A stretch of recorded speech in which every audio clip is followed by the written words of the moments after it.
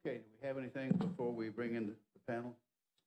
Um, just one thing, Your Honor. Uh, yesterday, you had indicated that you would like me to print off any of the annotations that were made on the exhibits. Um, we have done that, and I provided Mr. Titanic a copy of the one from yesterday, and we agreed that we'll just attach that to the record as defense exhibit. Okay, we made that A, I believe. Uh, A was the notice of non-party production, Oh. which is why we made this. B, all right. I say I have in the waiting room witness, I assume. This Ella?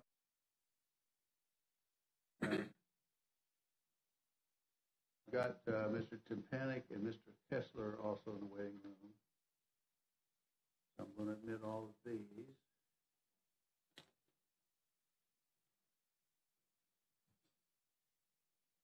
Mr. Kessler, do you have, um, are you planning on using um, documents Uh, We are, Your Honor. or? have a-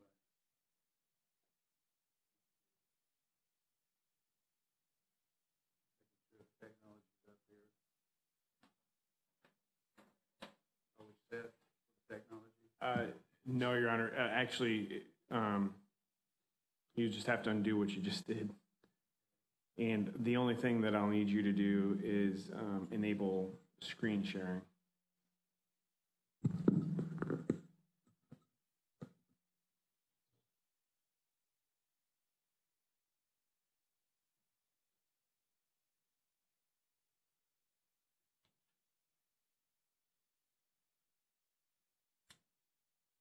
Uh, Your Honor, it's still.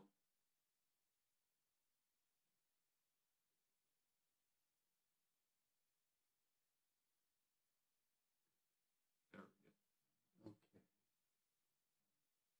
Showing up on the screen. So it's only showing up on our Zoom screens and the screen in front.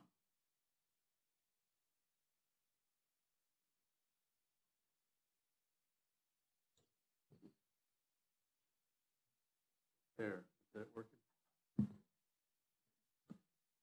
I'm, I'm not clear on what's missing. Yeah, so on, what, what happened is our screens in front of us have gone blank, so we can't see the witnesses or anything else, Your Honor. John, come here and see what I'm doing.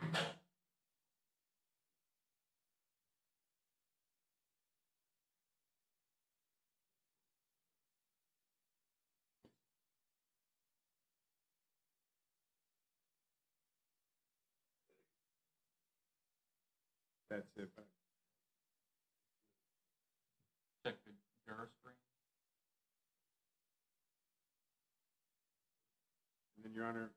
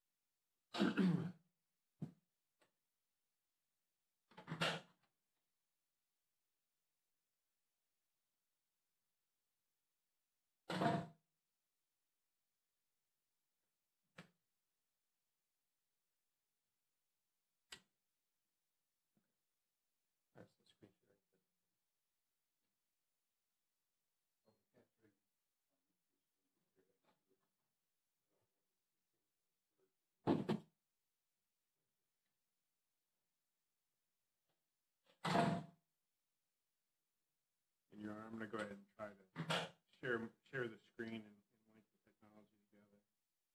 See if we can get it to work today. I'm showing the share screen is on. Yep, it is, Your Honor.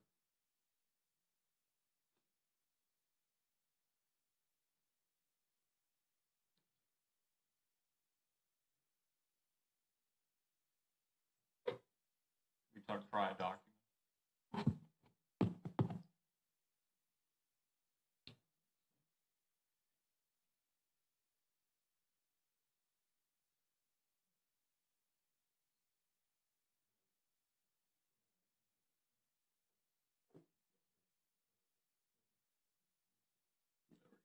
Down here. Matt, do you have me an objection me just leaving it like that? Not at all. Not at all. Most important thing is so they can actually see the document.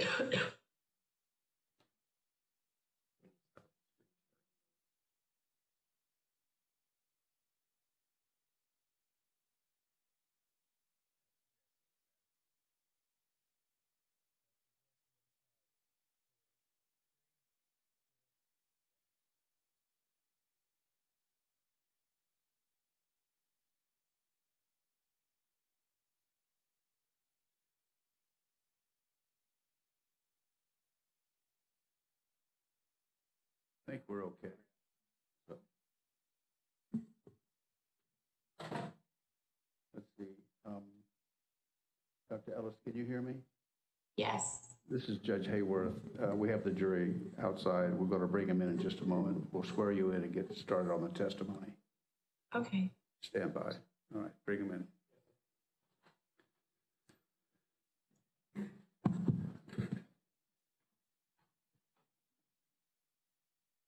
Gentlemen, one last reminder, please make sure your cell phone is turned off.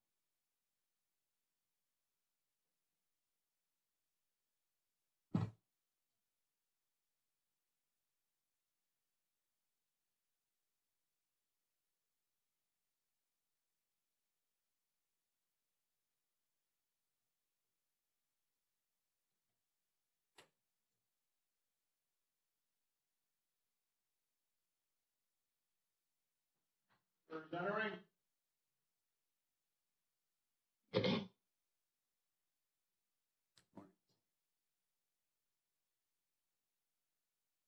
right? Folks, come on in, take your seats.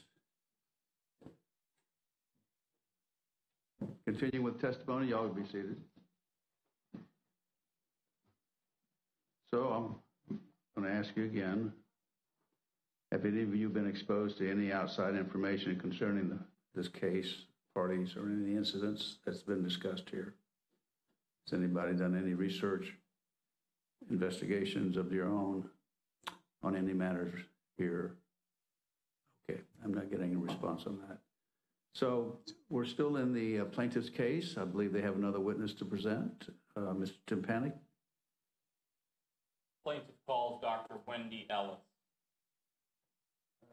Dr. Ellis, would you raise your right hand? Do you swear or affirm the testimony you'll give today will be the truth? Yes. Will be questioned first by Mr. Timpanic and then someone from the defense. Okay. Good morning, Dr. Ellis. Good morning. Could you please introduce yourself and spell your last name for the record? My name is Wendy Ellis, and the spelling of my last name is E L L I S. And what is your current occupation? I am an emergency veterinarian. And where do you work? Currently, I work at the Veterinary Medical Center in Lakewood Ranch. And on November 18th, 2016, were you working in the same or similar capacity? I was working in very similar capacity. Were you working in Lakewood Ranch? No, Where were you working? I was working at Blue Pearl, Sarasota on Tamiami Trail. And what is your highest level of education? Um, doctorate of veterinary medicine.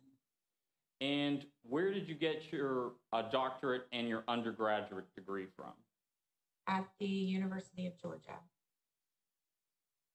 And are you familiar with Candy the dog?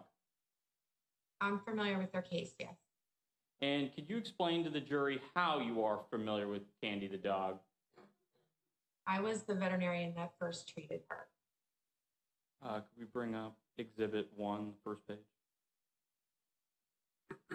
And Dr. Ellis, um, could you tell the jury what you saw Candy the dog for on the day in question? I saw her for gunshot wounds. And could you explain to the jury the um, what observations you made from, obviously, from the medical records? Um, I mean, she came in. Um, I was told she was shot multiple times. We examined her. We placed an IV catheter. We did some workup and some treatments for her. Is there And- something? Go ahead. I'm sorry, uh, continue, ma'am. I just didn't know specifically what you were interested in. Uh, could you note for the record the locations of the gunshot wounds? You can refer to your medical records if it would refresh your recollection. So um, it has been a while, but um, I do have the X-ray report in front of me and um, my records as well. And it's a gunshot wound to the left caudal um, thoracic slash cranial abdominal wall. And did you note in your the objective section of your medical records were a second gunshot wound? Um, I suspected a second wound. Um, it shows over the right lateral as- aspect of the elbow. So just basically the outside of the right elbow. And have you, Dr. Ellis, um, in uh, treated other animals for gunshot wounds? Not very many, but a few over the years. I've been practicing for about 20 years. And could you uh, tell the jury um, what observations you made of Candy's, uh, the dog's demeanor? Um, when she came in, she was pretty quiet. Uh, we just put her on the treatment table, and I mean, she she wasn't doing much. I remember seeing her on the treatment table. She was just, you know, kind of sitting there. She wasn't bright, happy, wagging her tail. She was just kind of quiet, sitting on the table. Uh, do, we bring up page two of this? And in your notes, Doctor, I'd like to turn your attention towards the bottom of the page. Uh, WE for Wendy Ellis, 11 18 2016. Could you tell me what you noted in those and in that uh, moment? Um, at 9:08 p.m., um, I noted that she had vomited blood three times. I had some concern for penetrating stomach wound and probably other injuries, and I recommended emergency surgery. And did you, and we'll come back to the photograph. Uh, did you see an entrance or an entrance wound? We did see an entrance wound. And did you recall seeing an exit wound? No, but I do recall feeling the bullet on the right side of the abdominal wall. In your experiences, what um, what does it mean when it, a bullet when there is no exit wound? I mean, it went in and it didn't come out. Okay. okay.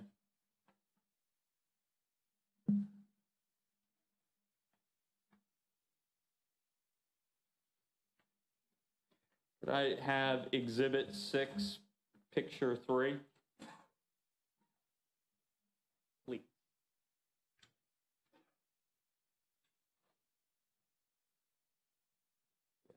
Uh, Dr. Ellis, would that picture be a fair and accurate representation of Candy the dog's right elbow? Yes. And is that the suspected gunshot wound you discussed earlier? Um, yes. And did you at the time make any notations as to why you thought it was a gunshot wound? Um, there weren't any other reported injuries. The owner um, had mentioned that she was shot at multiple times. So, without any other reported injuries, we assumed it was a gunshot. And like you said earlier, you had investigated, you had treated animals for gunshot wounds before. Yes, a handful. There's not many, we don't see many dogs that are shot, to be honest. I mean, over a period of 20 years, I've probably seen maybe five, seven. I mean, just as a, a guesstimate. Do you recall the demeanor of the dog's owner? Um, he was very concerned. Um, I know he was very worried about his his car or his uh, flat tire. I mean, he got his dog in there. We started treatment right away, and when we mentioned um, traveling to Tampa for emergency surgery, um, you know, I know he was concerned about his tires. So he was in and out of the building quite a bit that day. Was he also concerned about his dog? Yes, he's very concerned about his dog.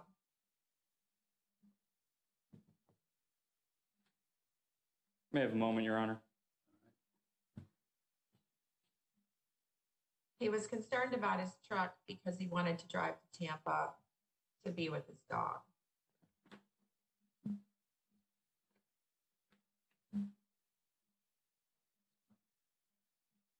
I have no further questions, Your Honor. Ms. Johnson? Thank you, Your Honor.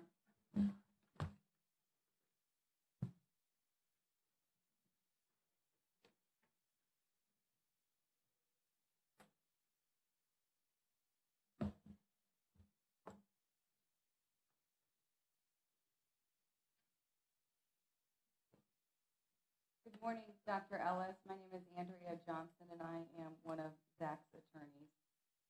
Good morning. Now, when you said that there were multiple gunshot wounds, that was what you were told, right? Well, yes, but there was a bullet in the cut. Isn't it true that the only definitive gunshot wound that you determined was the one observed on the left thoracic wall of the dog? That is true. I am going to turn your attention to Exhibit 2, document Bates labeled 17. That will come up on your screen momentarily. Do you recognize this as the radiology report that you were the requesting doctor on? Yes. If you could look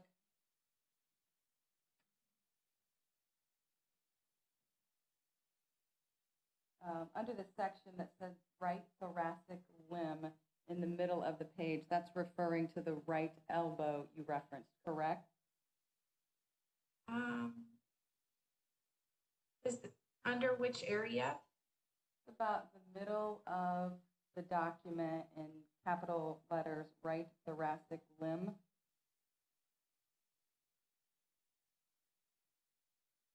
Oh, yes, okay. I want to ask you a few questions, and that is the right elbow you had referenced in your direct testimony, right? Yes. If you could look at the second sentence under findings and let me know when you're there.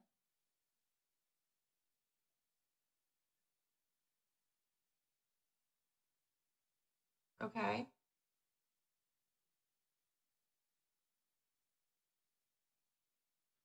I want to read the second sentence to you under findings.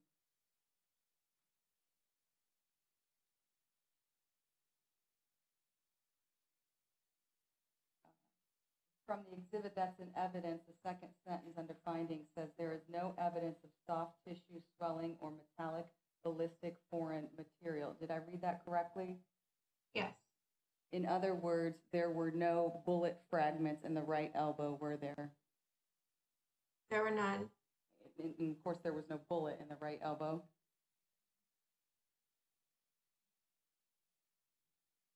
Is that accurate? Yes, there was none that I saw.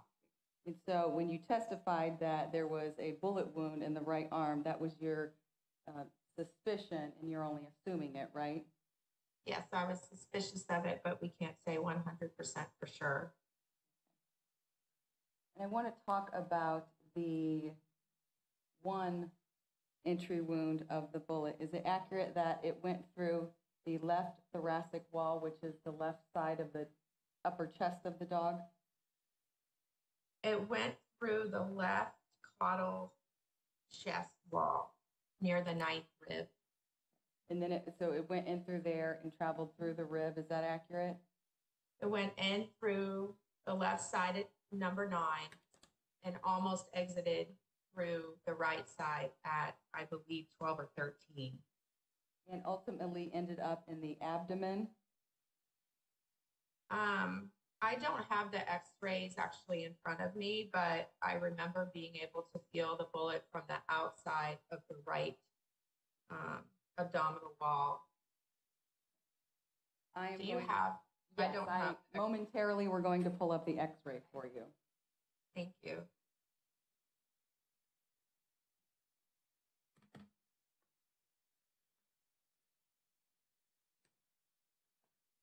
That x-ray in front of you?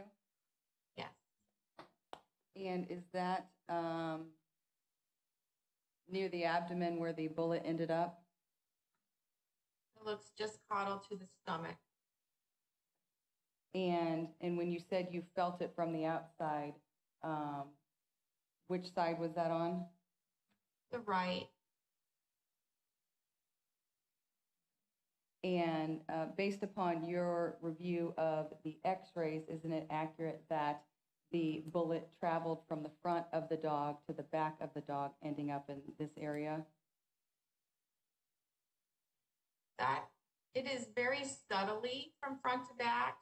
I mean, it's more from side to side. It entered at number nine on the left side, and it was at number 13 on the right. So it traveled a couple of rib spaces back, but it went from the caudal thorax, front of the abdomen, as noted in the radiology report, to um, not much further back on the other side of the pet.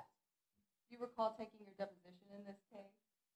I do. Do you recall testifying in your deposition that the entry wound of the bullet traveled uh, from the front of the dog to the back of the dog? He asked me if it traveled from the front to the back, and I did say yes. That was the first time I'd seen those records in years. And I have looked and reviewed the radiology report as well as my records. And if you place it, I have a dog that's 55 pounds myself. And if you place the bullet entering at the ninth left side and exiting at the right 13th, that's more of a side to side than a front to back. Although I do agree that it travels front to back to some degree, um, approximately approximately three to four rib, rib spaces. But it travels from the left side of the dog and almost exits the right side of the dog. And was that in a downward direction? That I cannot answer. Uh, this is difficult. I can't show you your deposition, but I'm uh, handing a copy to the plaintiff's attorney, and of uh, directing um, attention to page 28 deposition, starting at line 8. The question was asked of you, so if I understand you correctly, the entrance wound was in the front and then traveled back. Answer, yes. Yeah, I believe I just explained my answer on that part of it. But I mean, the man is taller that shot her, so I would assume it's probably going to be from a more dorsal point as opposed to from underneath her. Your Honor, may I have a moment? Yes.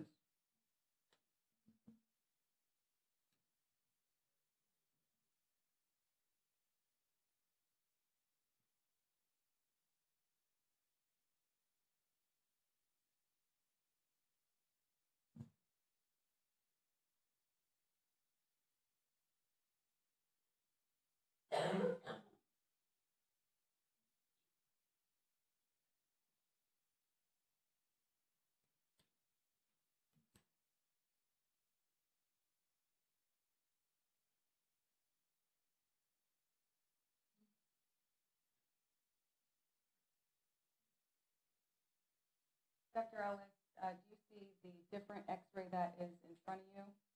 Yes. And when x-rays are taken, they're in fact reversed, right? Um, yes, you kind of have to imagine the pet laying on its back. And do you see the uh, bullet in this x-ray? Yes. And you, can you identify the location of the dog where that bullet is? Um, it's in the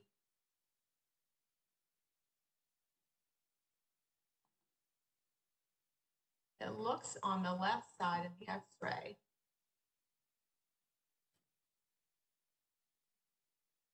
Thank you, Your Honor. Redirect.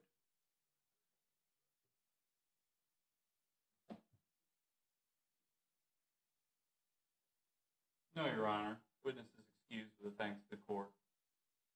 Okay, uh, thank you, Dr. Ellis. Uh, We'll sign off. Thank you.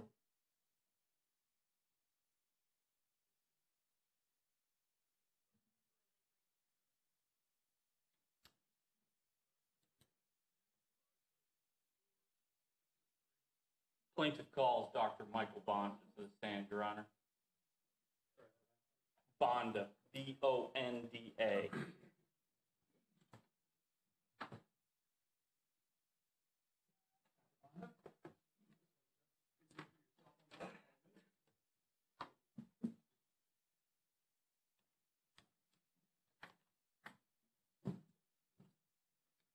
you'll stand here, please, Madam Clerk, raise right hand and sworn. I do. This way, sir.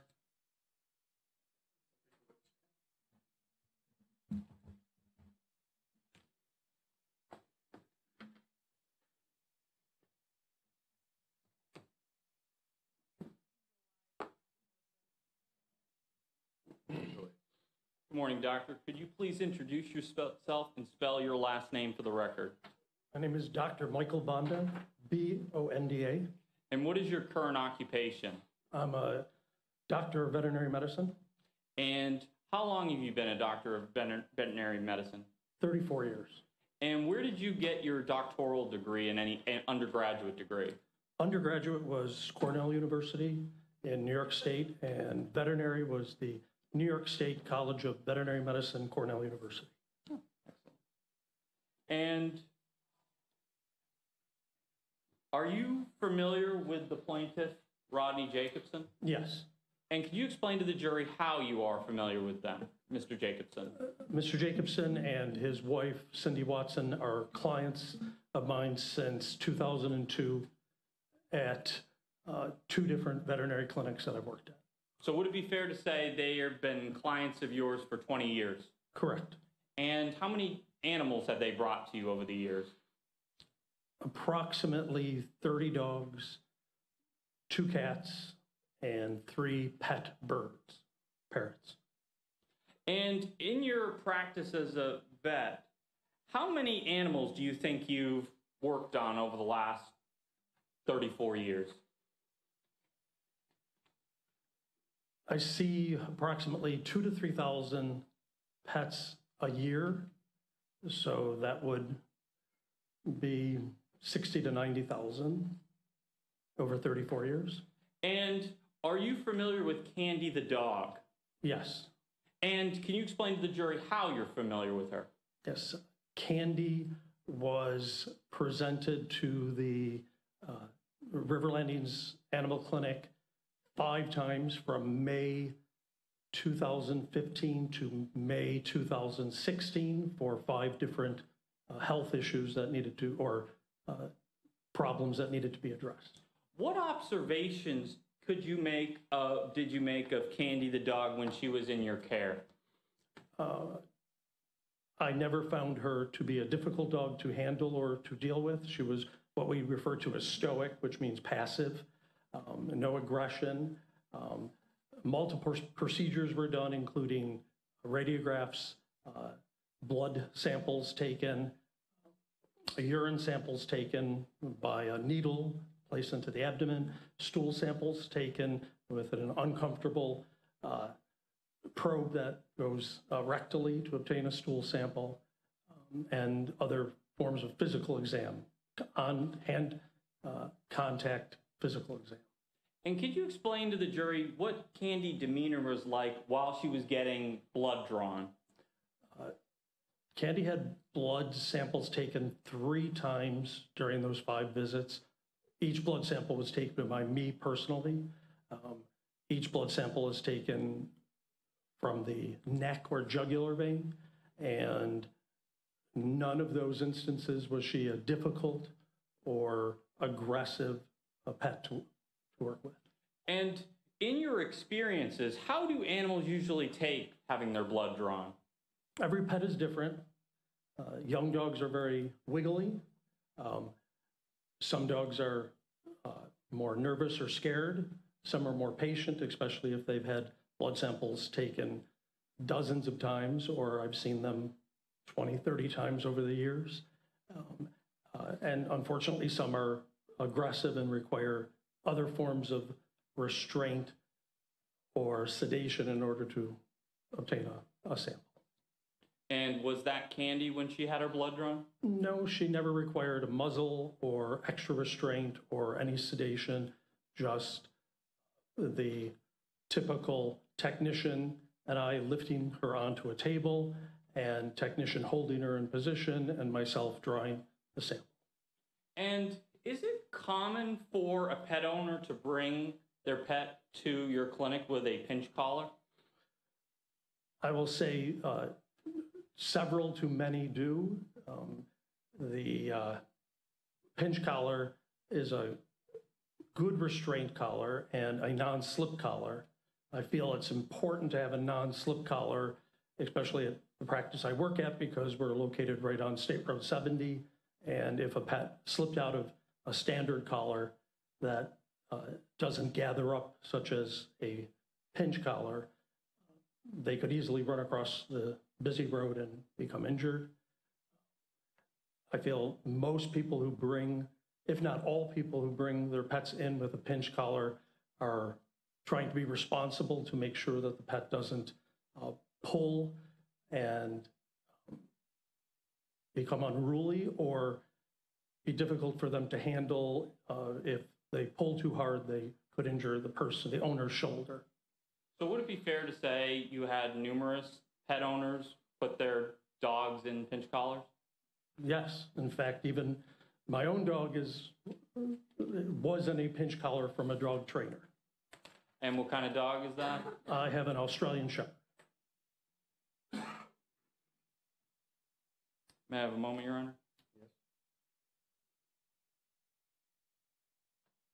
I have no further questions.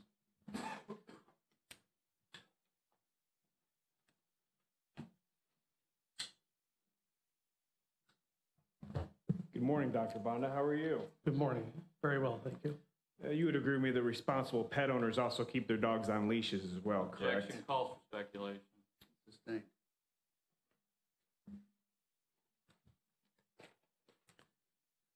Let's talk about the pinch collar in this case. If we can pull up Exhibit 15. Oh, Your Honor, I think you're going to have to, Your Honor, I think you're going to have to release control to,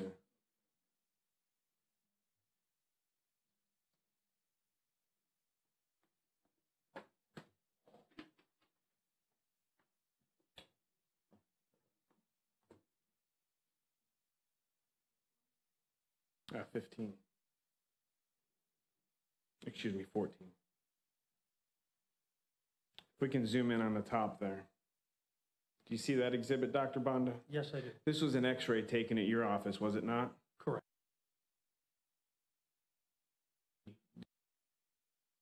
No restraint to do testing, because in fact, she had a pinch collar, choker chain, prong collar that she wore on this day that she was getting an x-ray, did she not? The pinch collar wasn't used to restrain her for any of the handling or blood sample. Oh, It wasn't used to restrain her for the urine or the blood sample, but it was used to restrain her for the x-ray. A non-intrusive procedure? It was not used, Sorry.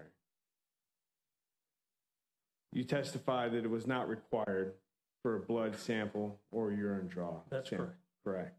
But nevertheless, it was on the dog in a non-intrusive examination such as an x-ray, correct? that's correct. Okay. And it was not taken off prior to the x-ray, was it? That is correct.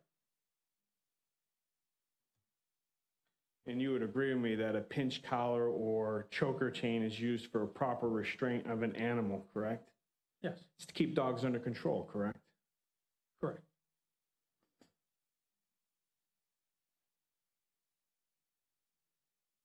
I want to talk a little bit about um, the five separate occasions that you treated Candy on. Uh, those visits never lasted longer than a half an hour, correct? Most of my appointments go up to an hour and a half. Okay. Out of the five appointments that you had with Candy, can you sit here today and tell us how long each one of those appointments lasted with Candy? A minimum of 30 minutes. I would say the longest lasted at least an hour and a half because I needed to take a urine sample, stool sample, blood work, examine the dog for the radiographs, and um, then examine the dog moving up and down the hallway, which can take 10 to 15 minutes itself. Okay. So anywhere from 30 minutes to an hour and a half. That's correct. And how many animals do you see in a day? I have 15 to 20 scheduled appointments each day. How many hours a day do you work? I work approximately 10 hours a day at the clinic. Okay. What are your hours at the clinic? Nine to six, recently changed from nine to five for schedule appointments, and then procedures are done after hours as well. Do you take lunch breaks? I personally do not take a lunch break. So your hours are nine to six, which would be nine hours in a day, correct? For scheduled appointments, I'm generally there till seven, eight o'clock each night.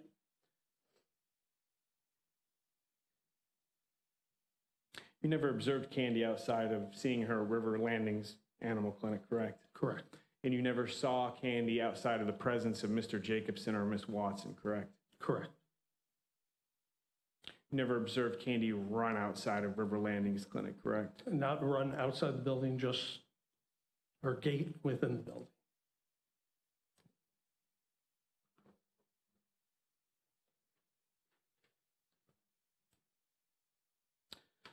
I'm going to go ahead.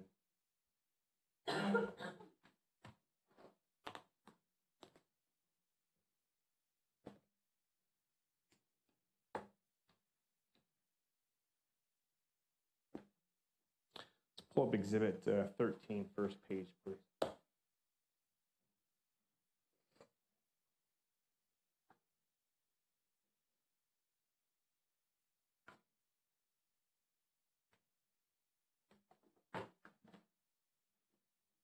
This is Candy, correct?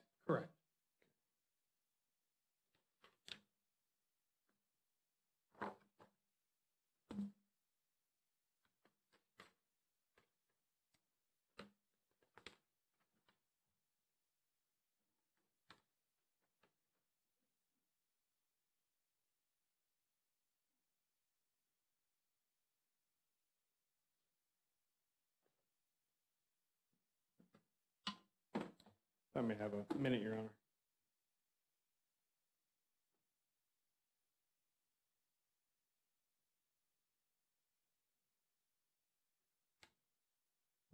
Dr. Bondo, Yes. how much did Candy weigh? Her first exam, she weighed 52 pounds. Uh, I know another weight was 57 pounds, and I believe her last visit, May of 2016, she was 59 pounds. In May of what year? 2000,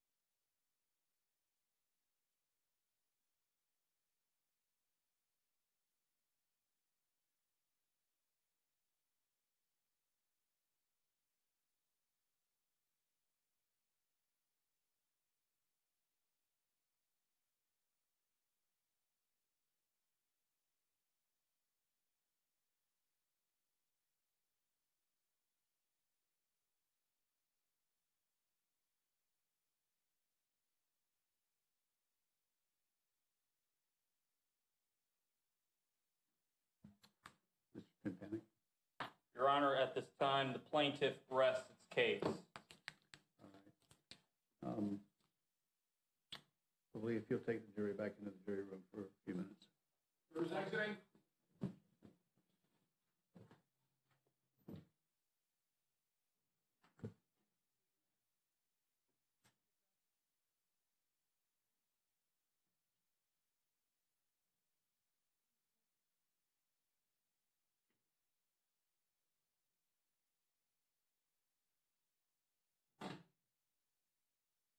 All right, be seated.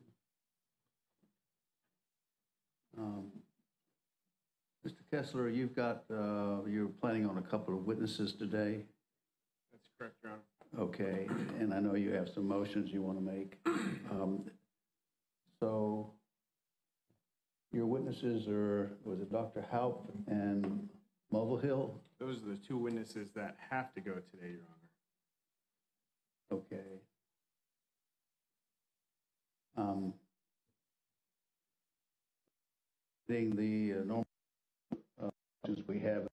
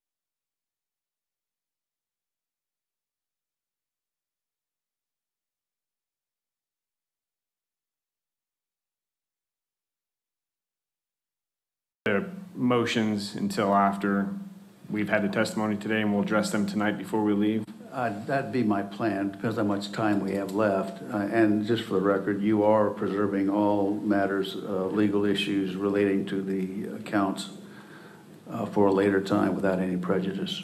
And I, and I just want to make sure that it's clear on the record that we're not waiving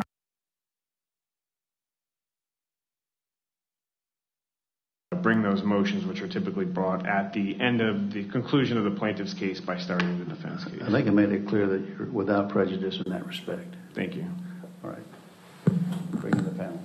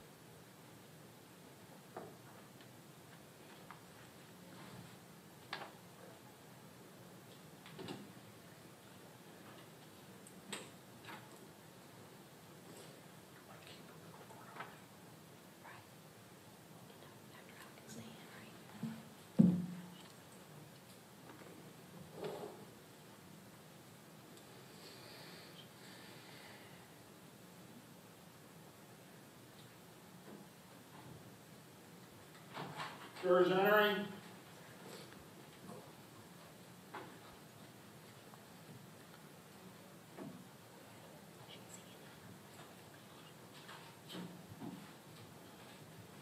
Okay, folks, take your seats.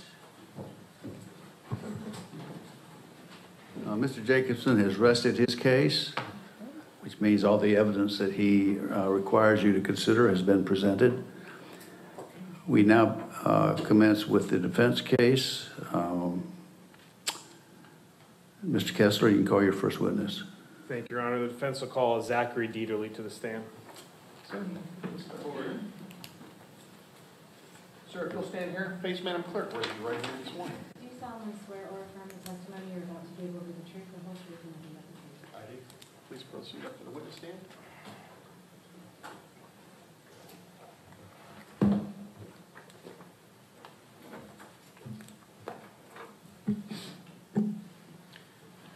Good morning, Mr. Deaterly. Good morning, Mr. Kessler. Can you tell the jury your name, please? My name is Zachary Deaterly, And Mr. Deaterly, where were you born?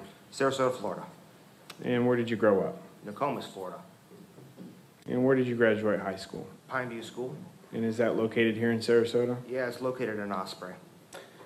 Did you engage in any extracurricular activities while you were in high school? Yeah, I was a rower.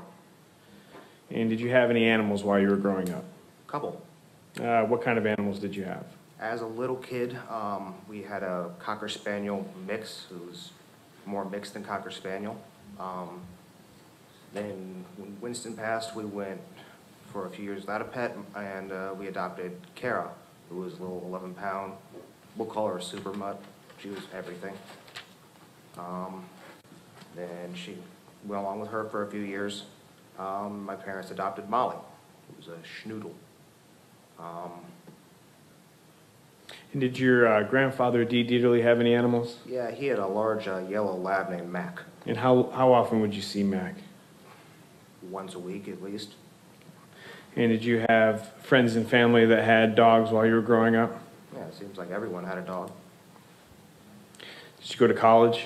Uh, yes, sir. Where did you go? Uh, the Florida State University. Uh, did you graduate with any degrees? Yes, sir. Uh, criminology and criminal justice, Bachelor of Science, and I have a minor in entrepreneurship. And what year did you graduate college? 2014. When you were in college, uh, were you involved in any clubs or extracurricular activities? Uh, yeah, I was a member of the uh, RAFSU. And what type of club is that? It's a competition shooting club. And what are some of the stuff that, or some of the firearms that you would shoot at the club? Uh, we would shoot uh, semi-automatic pistols at steel plates, timed. And how often would you shoot firearms there with the club? There was a point I was shooting about three times a week. And uh, as a member of that club, did you receive any additional firearm training? Uh, yeah, right about the time I got my concealed carry permit, when I turned 21, uh, the uh, range we shot out of was run by Leon County Sheriff's deputies. And one of the gentlemen, who's actually a Fish and Wildlife Officer, was offering a advanced safety course for concealed carriers. And, and did you take that course? I participated in that, yes. And on, when you graduated college in 2014, what day of the week did you graduate? It was on a Saturday. And what did you do two days later on a Monday? Went to work. Where at? My father's company. And is that located here in Venice? Uh, yes, sir. Uh, When you were attending Florida State University, were you around animals? A lot, yes. Who, uh, you were around, around a lot of animals. What kind of animals were you around? Dogs, cats, uh, someone I knew had a prairie dog. Um, a little bit of everything you see in college. And did your friends have any dogs? Yes. Did they have any particular type of dog? A lot of pit mixes. Did you also have any family members that lived in Tallahassee at the time you were attending university? Yes, I had a, she, we call her a cousin. Um, she's not actual blood, but it's, it's a cousin. It's family. And what type of animal did she have? She had a lab pit mix named Jasmine. And how often would you interact with Jasmine? She'd go out of town once a month or so, and I'd go over, feed the dog, walk the dog, hang out with the dog, just so she wasn't lonely. And uh, did you ever live with anybody that had animals? Yeah, my roommate senior year had a pit boxer mix. And how long did you live with him for? Two full semesters and a little bit of the summer. Did you have any girlfriends while you were in college? Uh, yes, uh, and she had a pit bull as well. And how long uh, were you around that pit bull for? We'll say six months we dated. And how often during that six months? I was there every day. So you're familiar with what we, we're calling here today's pit bulls, correct? Yes, And are you familiar with what they look like? yes, During your time at Florida State University, did you ever have any bad experiences with the pit bulls that you were around? none. When you would go over to spend time with Jasmine, uh, would anything happen when you would go over there? Well, when you open the door in a darkened apartment, a, a dog is naturally going to sort of growl a little bit, wonder who you are, but you know, as soon as you hit the light, they say, Jasmine, stop that, you know who I am. What would she do? Immediately turn into a wiggly mess. What's your current occupation? I'm a machinist and metal fabricator. And how long have you been engaged in that occupation for? The Monday after I graduated college, Okay. Do you know Mr. Jacobson? yes. How do you know Mr. Jacobson? He was a travel and drinking buddy of my grandfather's. Okay. Uh, did you ever spend any amount of time with Mr. Jacobson? Him personally, no. I've been in the same room as him, but I've never hung out. I don't know him that well. Prior to the incident in November of 2016, had you ever engaged in any conversations with Mr. Jacobson? Other than, hi, how are you? No. Never a direct, to a point conversation. Prior to November of 2016, uh, had you ever seen Mr. Jacobson with his dog Candy that you know of? I had not. And prior to November of 2016, was there ever a time that you yourself interacted with the dog Candy that you know of? I had never met that dog before. I want to turn to the incident that occurred on November 18, 2016. Uh, on the date of the incident, how old were you? I was 24. And the incident, where did it occur? Uh, 220 Llewellyn Lane, which is my family's property that we've had my entire life. I grew up out there Are you familiar with that property? intimately. Let me go ahead and pull up.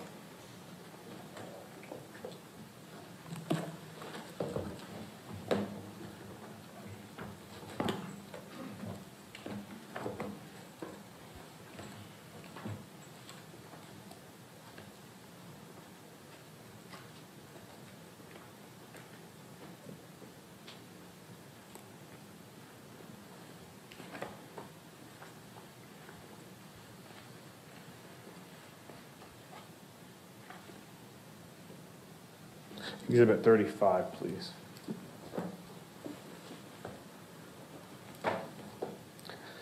This is a survey of the property located at 220 Luella Lane. Are you familiar with that survey? I am. So uh, go ahead and describe this property for the jury. Okay, so it's roughly 11 acres on Roberts and Lyons Bay. Um, Heavily wooded, there's only one small house on there, there's shell paths interlaced throughout it. Uh, It's incredibly vegetated and lush, and when this incident happened, it was pre-Hurricane Irma, so we still had a lot of brush and foliage still hanging, So was the property heavily wooded? very much so, And was the property dense with vegetation? yes. And how often would you visit the property prior to the incident? Be over there a couple times a week, and sometimes spend weekends over there at the cabin. And what was the purpose of visiting the property? Well, it, like I said, it's lushly vegetated, it's gorgeous, it looks like a park, and we had sometimes had problems with people coming on. Uh, oftentimes, they just wanted to look around. We, we had also found evidence of partying, camp, campfire remnants and beer bottles and such. So just walk around, so, you know, people would see headlights shining through the trees and see people moving around the property, so it didn't look necessarily uninhabited. On the date of the incident, what time of the day did you arrive at the property? Early evening, late afternoon, early evening, And what were you doing at the property that day? I was waiting. Waiting for who? Uh, My ex was coming up from her house. Uh, We were gonna park her car at the lot, get in mine, and drive to the airport to fi- pick up one of my family members. And why were you driving to the airport to pick up one of your family members? My mother had had uh, knee surgery that morning, and she was not reacting well to the pain pills. So my dad was supposed to be the one to drive up and do the pickup at the airport, but he was staying with his wife. So he said, guess what, you get to drive to the airport. So ultimately, you were chosen to go to the airport to pick up the family member? I was voluntold, yes. And, and when was it decided that you would pick up that family member? Earlier, uh, probably 10 to 12 o'clock. That same day? That same day, yes, sir. So before 10 or 12 o'clock on the date of the incident, before that time, you didn't think that you were going to go to the property? I, no, I did not. Let's talk about when you arrived at the property. Um, When you enter into the property, uh, how do you enter into the property? There's a large wood gate that you gotta punch code in, opens up. Uh, and you can either go left, and that will take you to the boathouse on the property where the small boat hangs. Uh, you can sort of go left and then right, and that goes down towards the lower part. There's sort of two elevations on the land. And that's, you sort of drive down, it's almost a hell, almost. Um, and- After, you- oh, sorry. And if you go right immediately, um, it takes you to the cabin. I went right, that's where I usually park my vehicle. Okay, so on the date of the incident, you drive through the wooden gate and you parked your vehicle, correct? Uh, When you uh, arrived at the property and parked your vehicle, did you uh, see any vehicles at the property? Immediately, no. Okay, at what point in time, uh, well, let me ask you this, did you ever come to find or discover that there was a vehicle at the property? Sometimes yes, sometimes you'd see the maintenance crew there. I'm talking about on the date of the incident. On the date, no. Okay. Uh, At, at, at any point in time, did you realize that there was a vehicle on the property at the date of the incident? Yeah, after I parked my, parked my vehicle, gotten out, I think I went, went in and used the restroom in the cabin and sort of saw through the trees a truck parked down by the first T-dock. And if we can blow up the survey, uh, the second page, we'll turn to the second page.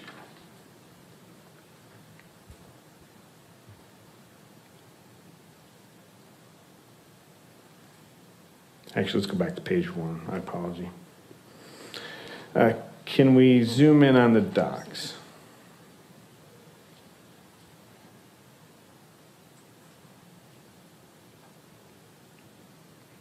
And when you're referencing the T dock, uh, which dock are you referencing on that photo? I'm right at the top one, the northmost one. I don't have annotation here, but the northernmost one, Your Honor, would it be possible for, it? thank you. yes, that one. Okay. Uh, Did you expect there to be anyone at the property when you arrived? No. It wasn't uncommon to see people there, but I didn't expect anyone. Your Honor, if we can uh, switch back uh, to the monitor. I know you turned annotation on, but I think we have to switch back.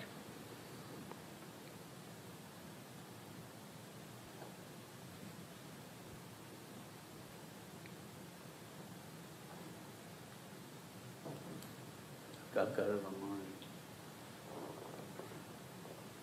Okay.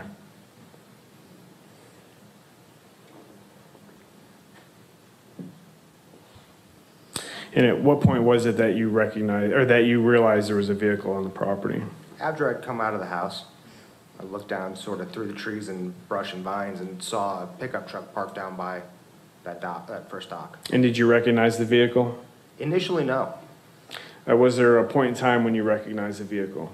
Yeah, I walked, you walk down and around, you sort of have to take a roundabout way to get there because of a large, it's- it's a swamp, basically. We've never gotten the drainage right in that area, so you can't walk through it. Okay. It's a mess. And at what point did you recognize whose vehicle it was? As I turned the corner, I saw Island Building Company on the side of the truck, so I knew that was Mr. Jacobson's. So you knew that to be Mr. Jacobson's company? Yes.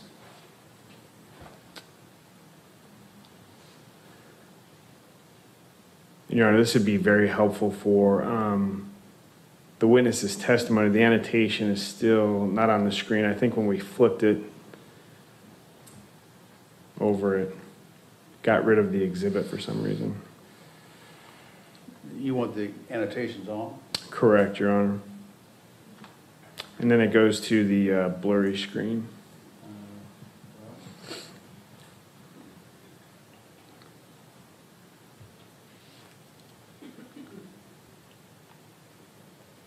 I've only got an on and off. Um, You want me to call IT? If you wouldn't mind, Your Honor.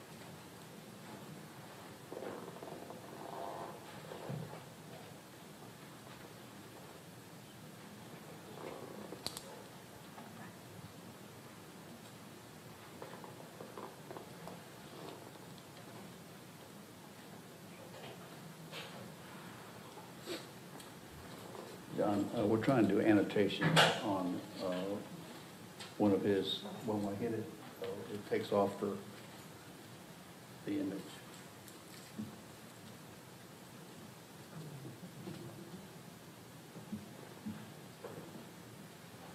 Being operated from the laptop.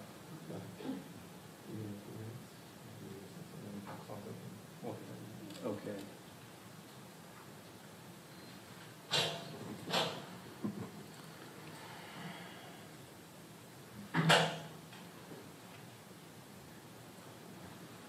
He's going to a closet. I hope that's a good sign.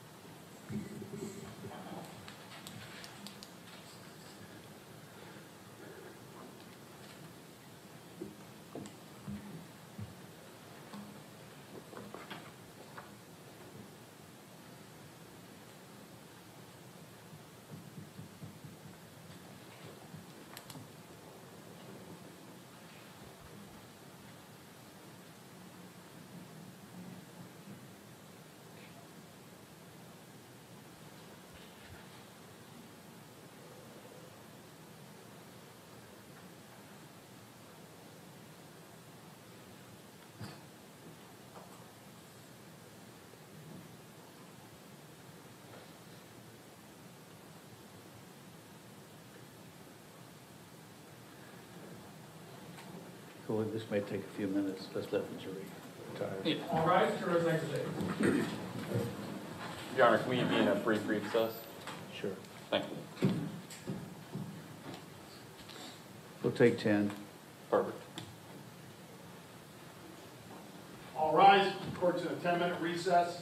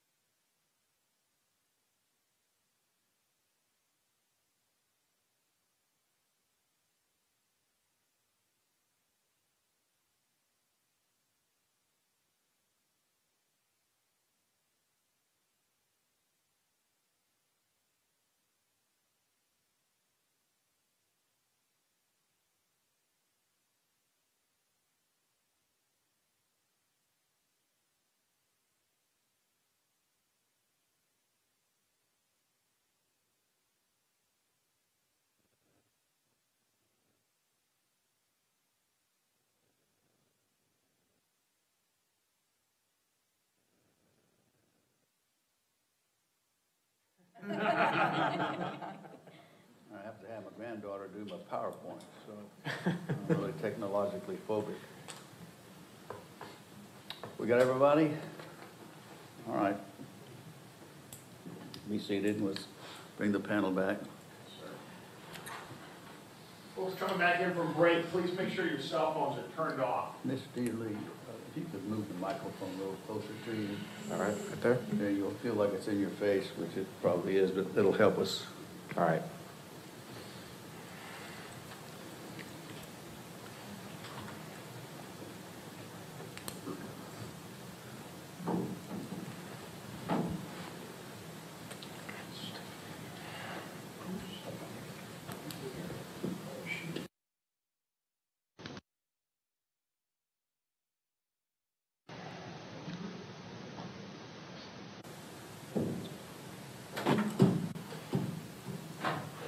Members Underwood?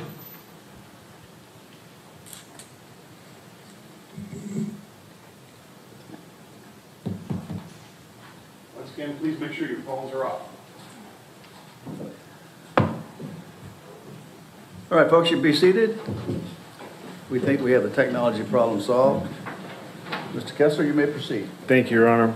Uh, Mr. Gidley, you have in front of you uh, the survey, in this case, of the property. Uh, Where was Mr. Jacobson's vehicle located on that survey? Roughly about there. And how was Mr. Jacobson's vehicle parked? Uh, tail, uh, tailgate towards the water, so by the water, I mean, like, over here. Okay.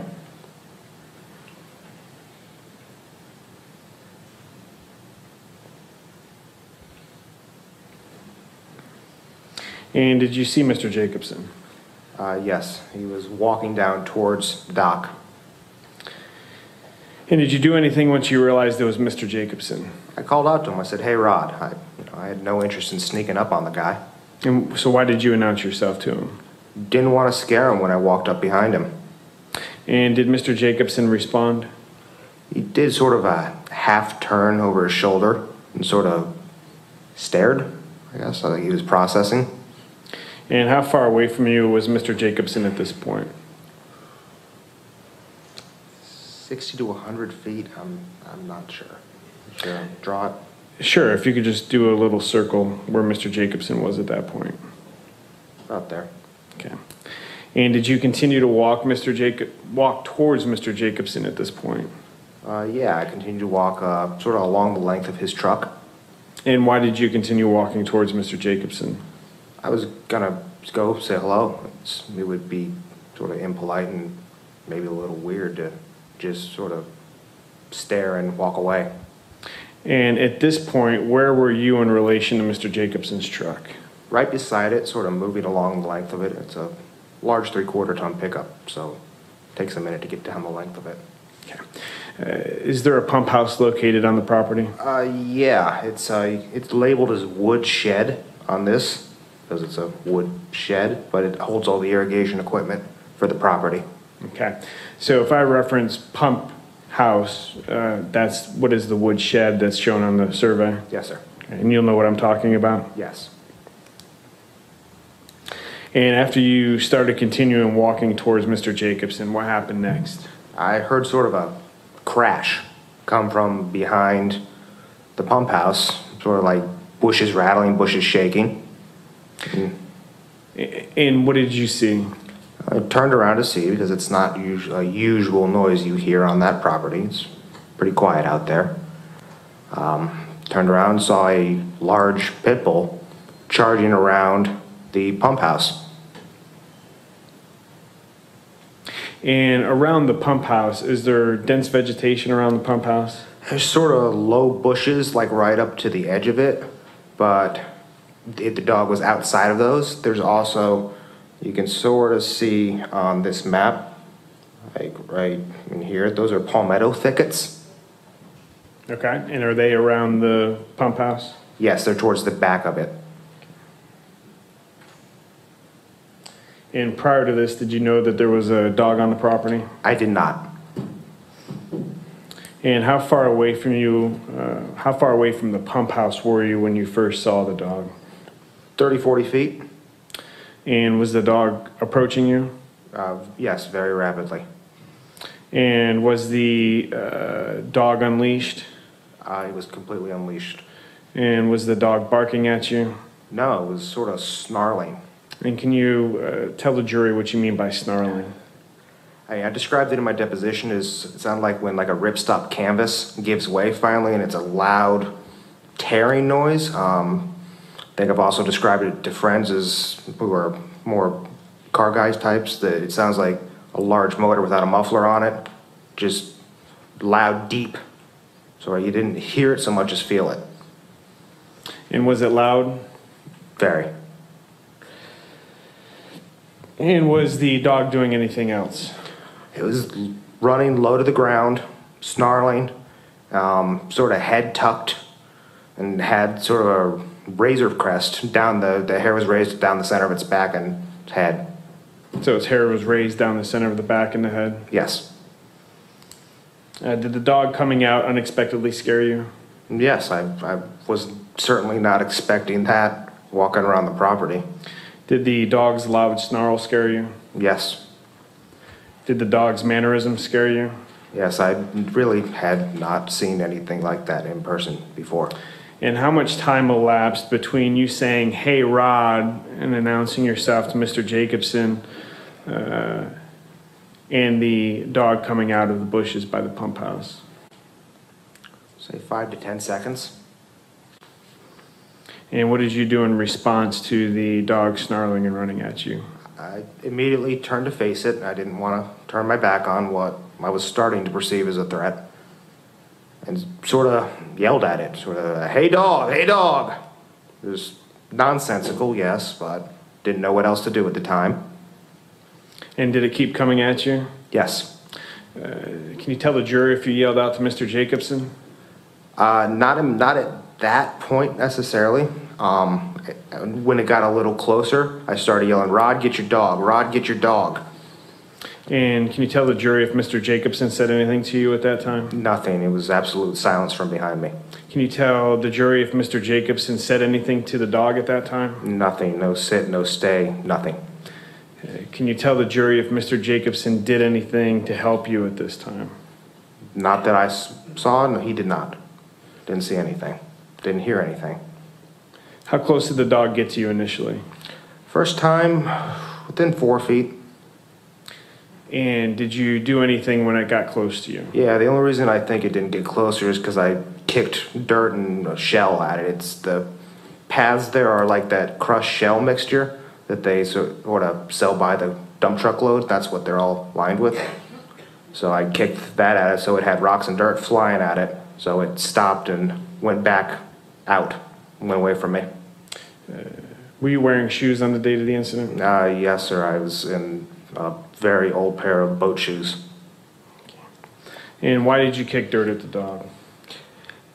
It seemed really unhappy with me. I don't know why. It seemed aggressive. And I wanted to go back to the palm thicket from where it came from and leave me alone so I could get out of there. Can you tell the jury what the dog was doing while you were kicking at it? Kicking dirt at it? It was continuing to snarl, and as it got in a little closer, it sort of snapped its jaw at me. Sort of got it. It was the strangest thing I'd ever seen.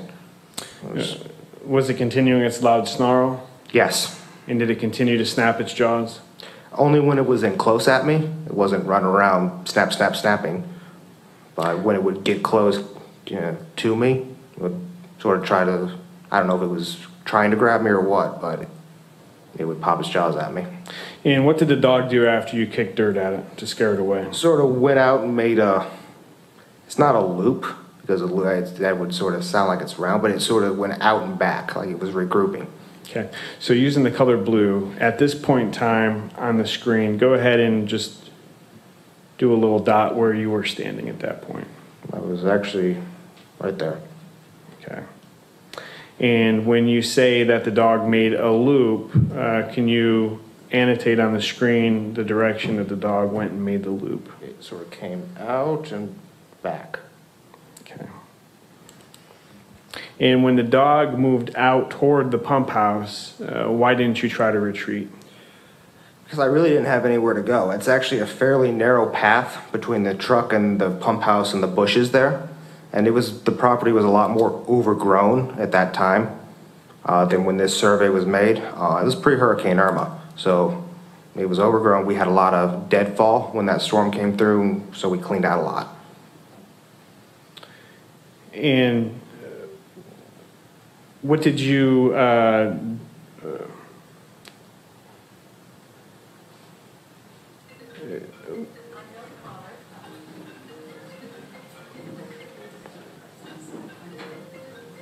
Not mine.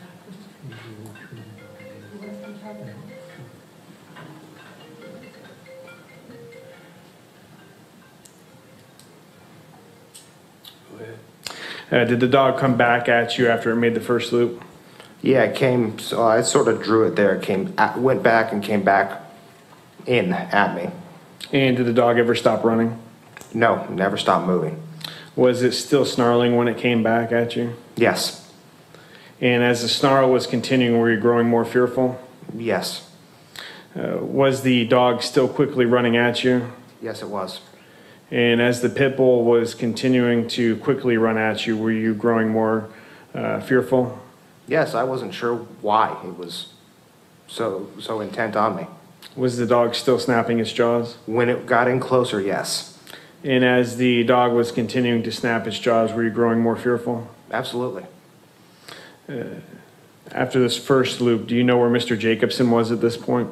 I lost track of him. I was focusing on the dog trying to, to at this point, I was pretty con- convinced it was trying to bite me.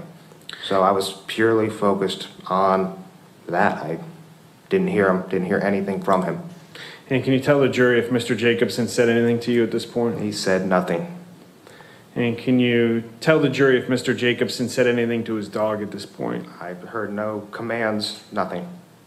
And did you observe Mr. Jacobson doing anything to get his dog under control at this point? I didn't observe Mr. Jacobson, period. He was somewhere behind me. And did Mr. Jacobson do anything to help you at this point? He did nothing. Did you say anything to Mr. Jacobson at this point? At this point, I was screaming, Rod, get your dog, Rod, get your dog, Rod, get your dog. I was, I mean, I yelled myself hoarse. I couldn't, I could hardly talk the next day. And can you tell the jury what you were feeling at this point in time? Scared. This is the only time I had ever had an animal react to me that way. I mean, I'm 24 years old at the time and grew up around dogs. Never had that issue. It's, it was, it was strange. It was totally alien. And after the first loop, how close did the dog get to you? got close enough where I was able to make contact with it when I kicked it. I kicked it in the side of the head as it came in at me. So when it made the first loop, when it came back, you kicked it in the head? It made a dash at me, yes, and I sort of moved to the side and kicked at it, and I think I got it on the side of the head or in the neck.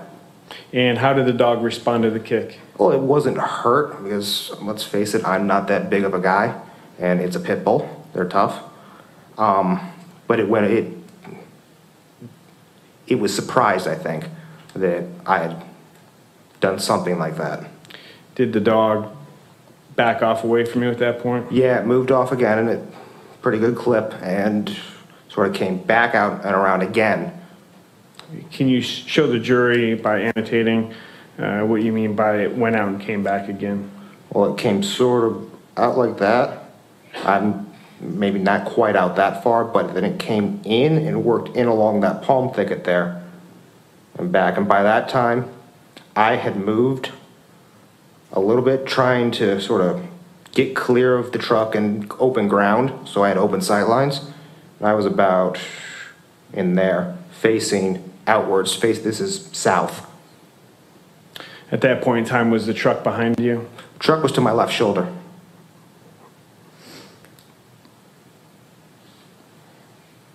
And as the dog was going out, making the second loop back, uh, did you do anything to try to get away from the dog? While I was yelling for Mr. Jacobson to get your dog, get your dog, I really couldn't get away because the dog controlled everywhere to the south. If I had tried to get between the truck, I would have been pinned between trucks and bu- the bushes. On the driver's side of the truck, it's a slippery mess that's part of the drainage to that swampy area that's annotated on the survey. I really had nowhere to go, and if I had gone out to the dock, I'd have been pinned out at the end of the dock. And when it came back on the second loop, uh, it came back at you, correct? Yeah, loop- I think we're on the third loop now. Well, this, we're still on the second loop. All I'm right. talking about the second one. So it came back at you again. Right? Uh, Did it ever stop running? No, it never stopped moving. And at this time, was the pit bull still snarling at you? Yes, it was. And as the snarl was continuing, were you growing more fearful? Yeah, nothing I was doing was working. And was the dog still quickly running at you? Yes. And as the dog was continuing to quickly run at you, were you growing more fearful? Yes. Was the dog still snapping its jaws at this time? When it would get close to me, yes, it would. And as the dog was continuing to snap its jaws, were you growing more fearful? Yes. At this point, uh, do you know where Mr. Jacobson was? I have no idea. Uh, at this point, did Mr. Jacobson say anything to you? He didn't say a thing. Uh, can you tell the jury if Mr. Jacobson said anything to his dog at this point? He, no commands, nothing. And can you tell the jury if Mr. Jacobson did anything to try to get his dog under control at this point? He did absolutely nothing. Uh, Can you tell the jury if Mr. Jacobson did anything to help you at this point? No help whatsoever. Uh, Did Mr. Jacobson uh, do anything that you could observe? He was, I think he was hiding behind me. I didn't see him. He was not in my line of sight. I couldn't see any, any part of him. Nothing out of my periphery, nothing. And at this point in time, were you still yelling? Yes. And to whom were you yelling? At this point, I probably get your, intermittently, get your dog, get your dog. I'm partially just trying to make noise and look big, sound big, maybe dissuade that dog to go away. And the dog get close to you again? Yes, on this third time, it got in and it didn't make a full run at me. It sort of stopped short and worked in and moved out. And Work- can, can you tell the jury what you mean by worked in and worked out? It would a- approach me and sort of pop its jaws at me, and then I would give ground to get away, sort of back up just a little bit. And then as it was coming back on its haunches, I'd jump at it to try to get ground back and just make it think I was bigger than I was, that it didn't maybe want to have this, you know, today. Uh, and that went back and forth a couple times. It was working in on me. It was looking for an opening. It was looking for if I set a foot wrong, slipped, fell, I think. So, And how close was the dog getting to you each time that it would come in at you? inches. And can you tell the jury what you were feeling at this point? Terror. I, nothing I was doing was working. I tried, tried everything. Worked up every little idea that I could think of in the moment. I mean, you, you, you think you yell, you scream, you kick dirt at something, you actually kick it, it'll go away, but it didn't. You would think if the owner was right there, you'd start to hear sit, stay, candy, no. I didn't. And as the dog was coming in and going back out, did you try walking backwards? as far as I could. Um, as soon as you get off that path, um, like I said, there's uh, it's a muddy, swampy mess. It's I mean I've fallen over in it before. It's sort of how I'm pretty familiar with the property. I've you know gone the whole bonfire covered in mud because I slipped and fell there. Um, In, in using the purple color, can you identify the wet, muddy area that you're describing for the jury? it's, And was it muddy on the date of the incident? yeah, it was pretty bad. I think the irrigation had run the night before, so if any runoff from that, it makes its way down that driver's side of the truck along the side of the path. It's like sort of a slow-moving creek almost, and it ends up there in that low spot. Was there a point in time when you stopped walking backwards? Yeah, I had given too much ground um, when it had come at me, so I was nowhere to go.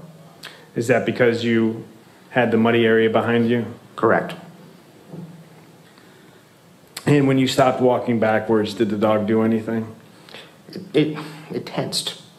It tensed. It got even lower than it was, and it, uh, it was reading me. It was, it, uh, and I just got this weird feeling that, all right, this is it. Here we go. Now this is where I'm going to get hurt. And tell the jury what you were feeling at this point.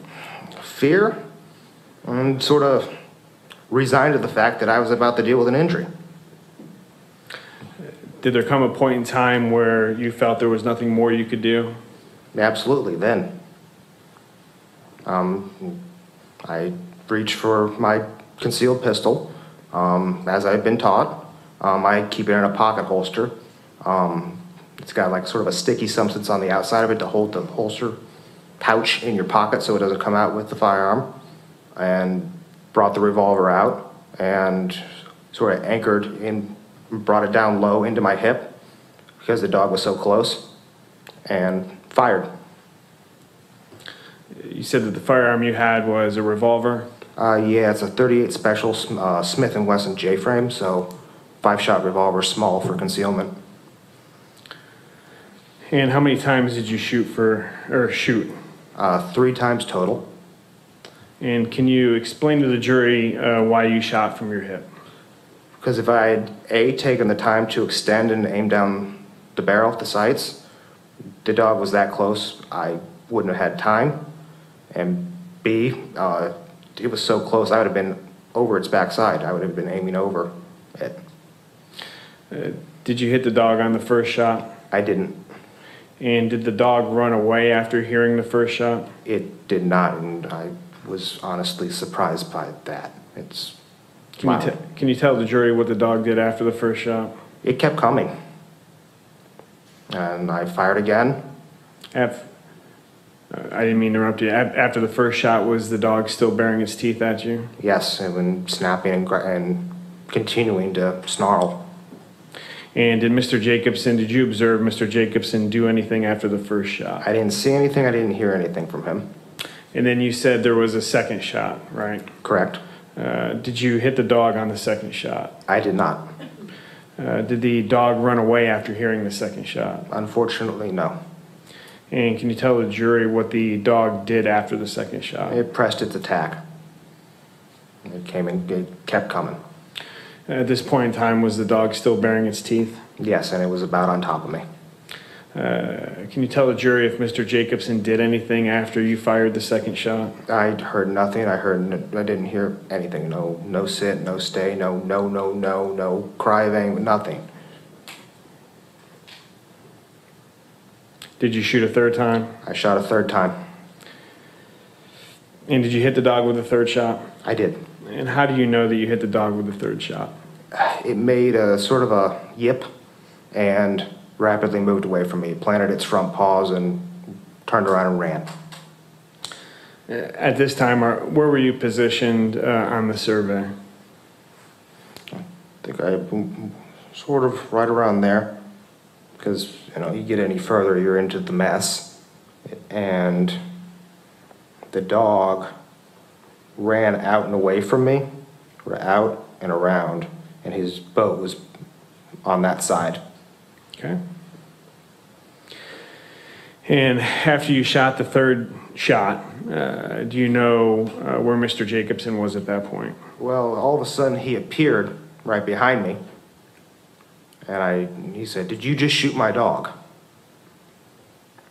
Was Mr. Jacobson ever in your line of sight as you fired the gun? He was never in my line of sight. Can you tell the jury if you ever aimed your gun at Mr. I Jacobson? never aimed my gun, gun at him, ever. Can you tell the jury if you ever fired your gun at Mr. Jacobson? No, I never fired it at him. Prior to you shooting the dog, can you tell the, ju- the jury if Mr. Jacobson tried to help you in any at any time prior to shooting the dog? He dog? did nothing. Zach, did you ever shoot the dog while it was running away? No, You said you shot three times, correct? correct. How do you know you shot three times? Few days later, um, when I sort of settled down and was ready to sort of more calm, I went to reload the firearm and I found three expended cases in the cylinder. Revolver retains its shells. It doesn't eject them like a semi-automatic. So they were still there. So I found three rounds expended and two not, two live ammo.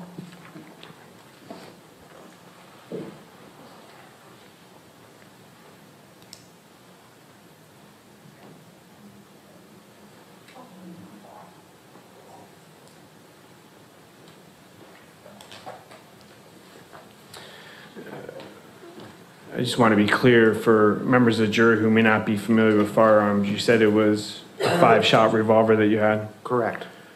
and you said there were two rounds left when you went to reload it. Two live rounds left, yes. And can you explain to the jury uh, why shell casings for the spent rounds wouldn't have come out of a revolver? So a revolver works by its, there's a cylinder that literally revolves as you pull the trigger. There's like a clockwork mechanism inside. So as you pull, it works this around and rotates a new round into place in front of the barrel. So it just continually spins.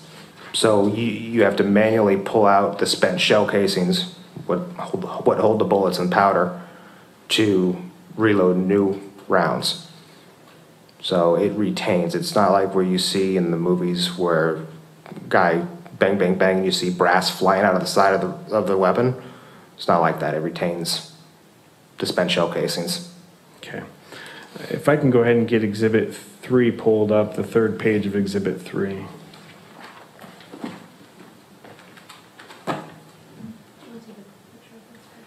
I, I took a picture, yeah.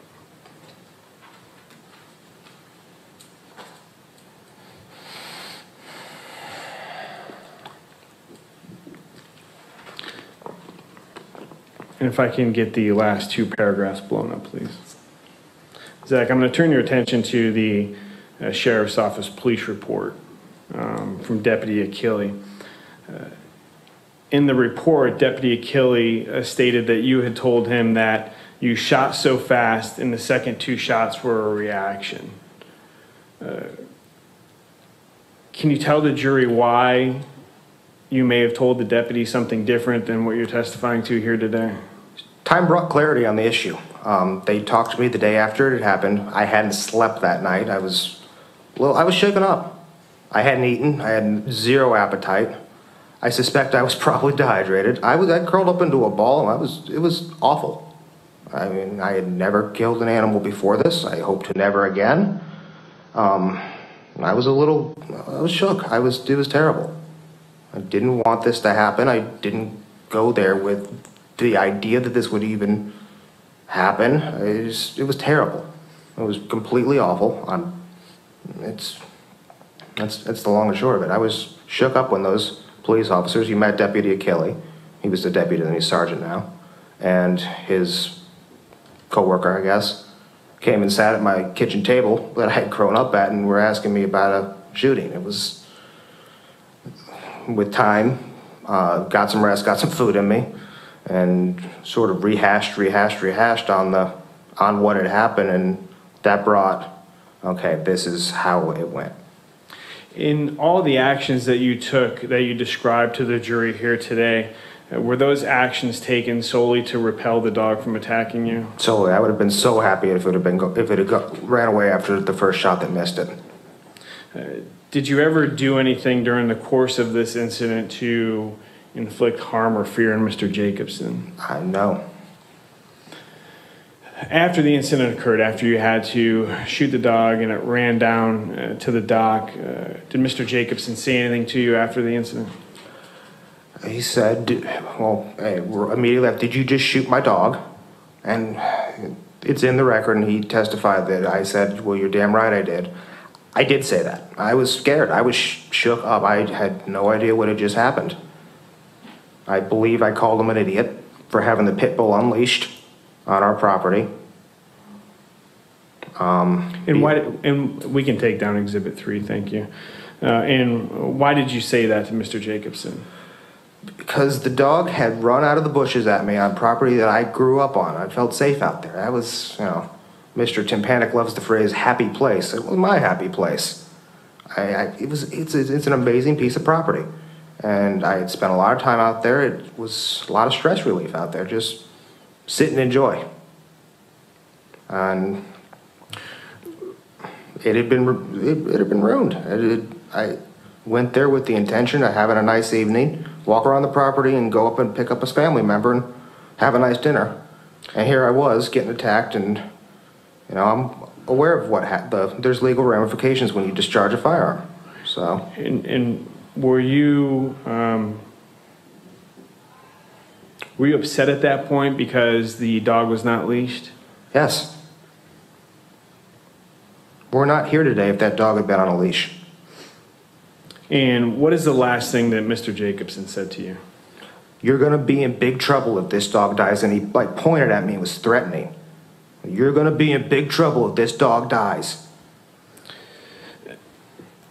And did you say anything back to Mr. Jacobson in response? No, uh, there's nothing to say. And at this point, what did Mr. Jacobson do? He put the dog in his truck, got in, and I mean, did not eloquent for his. He peeled out. He he stepped on the gas as hard as he could and sped out of the property. So he quickly left the property? Yes, When Mr. Jacobson uh, left the property, did you have occasion to observe his truck leaving the property? I did. As you observed his truck leaving the property, did you uh, see any damage to his truck? I didn't. Did you ever shoot at the truck? Absolutely not. Did you ever shoot the truck? No. Uh, did you ever shoot in the direction of the truck? No.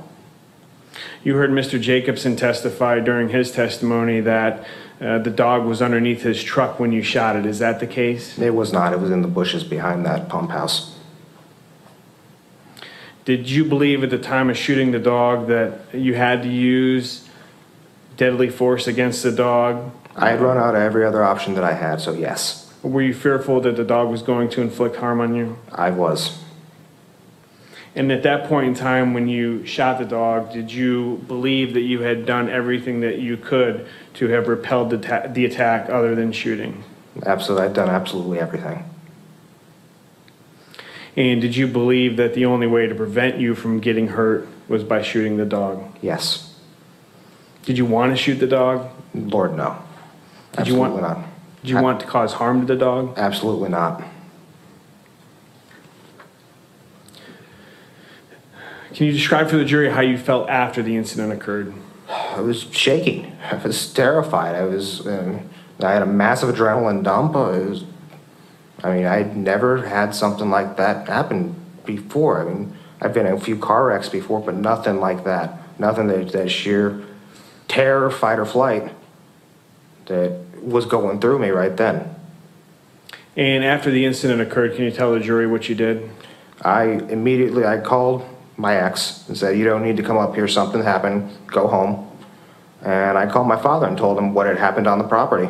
He immediately told me, "Or get back here." So I drove back to their house. It's like five minutes away. So mm-hmm. after after the incident occurred, you called your dad and you went back to your house. Correct. And what did you? Can you tell the jury what you did when you got home? They, he sat me down at the kitchen table and said, well, "Okay, what happened?" Went through what I just said, and you know, basically they he tried to get liquid in me.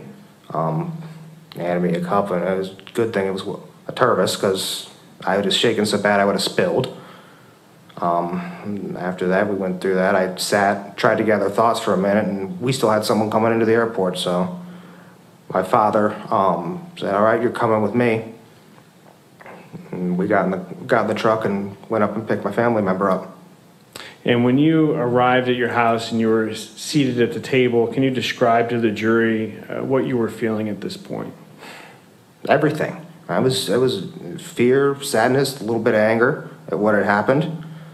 Was, I was I was shaking. I was jittery. I could I could barely spit sentences out. I mean, I know I'm a, probably a stuttering mess up here. Sorry, Richard, but it was it was bad. I had had every bit of adrenaline dump into my system, and I was coming down from it. And who did you tell about the incident? Initially, m- my family. Okay. And then I believe you testified that at that point in time, your father said, Come on, let's go. We have to go to the airport. Correct.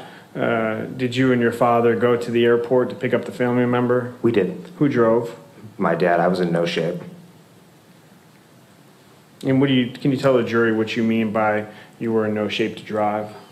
I was still shaking. I was still messed up. I was bad.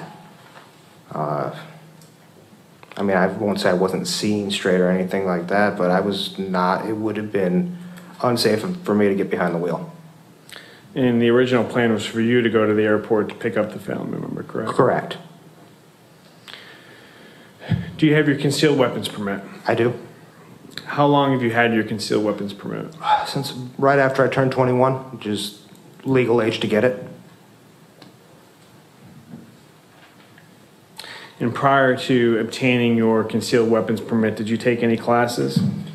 Uh, state of Florida requires you take, I forget how many hours it is, but requires that you take a law and proficiency class for, to get your concealed carry permit, to even qualify you to take the background check. And did you take that? Uh, yes, I passed the background check from uh, Florida Department of Law Enforcement. And did you ever uh, take any extended instruction in how to use a firearm? Uh, yes, as I was getting the permit, um, they were offering the advanced concealed carry class through the, through RAFSU, through the range that we shot out of. Uh, I figured, you know, if you're gonna carry this thing, you might as well know how to use it properly, use it safely, so you're not a threat to yourself or society. And is it, do you routinely carry a concealed firearm? Pretty much wherever I go, yes.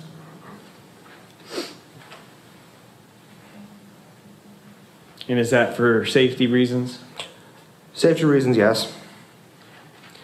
Uh, other than the dog in this incident, have you ever shot any other animals? No, sir. Have you ever hunted animals? No. Uh, have you ever shot any people? N- No. Uh, have you ever threatened to shoot someone? Absolutely not.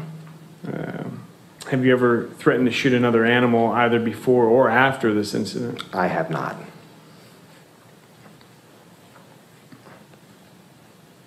And uh, Mr. Deaterly, I, uh, from your testimony, I take that this was a, a traumatic event for you. It was incredibly traumatic. Uh, can you tell the jury how this incident has affected you? I mean, on the emotional, I feel free, I feel absolutely terrible that that dog had to die that day. I didn't want that to happen. I mean, I'm, you know, I'm, I'm an animal. I, I like animals. I, you know, I don't even have a particular problem with pit bulls. Uh, it just that one, I had never had an animal treat me like that before. I mean, even you walk into a house and the animal's new and it's curious, little, you know, maybe a little standoffish, all that. You talk sweet to it and maybe try to give it, bribe it with a milk bone and make friends. But there was none of that with this, and I don't know why for the life of me. Thank you, Mr. Deaterly. Your Honor, that's all the questions I have at this time. Cross, Your Honor. All right.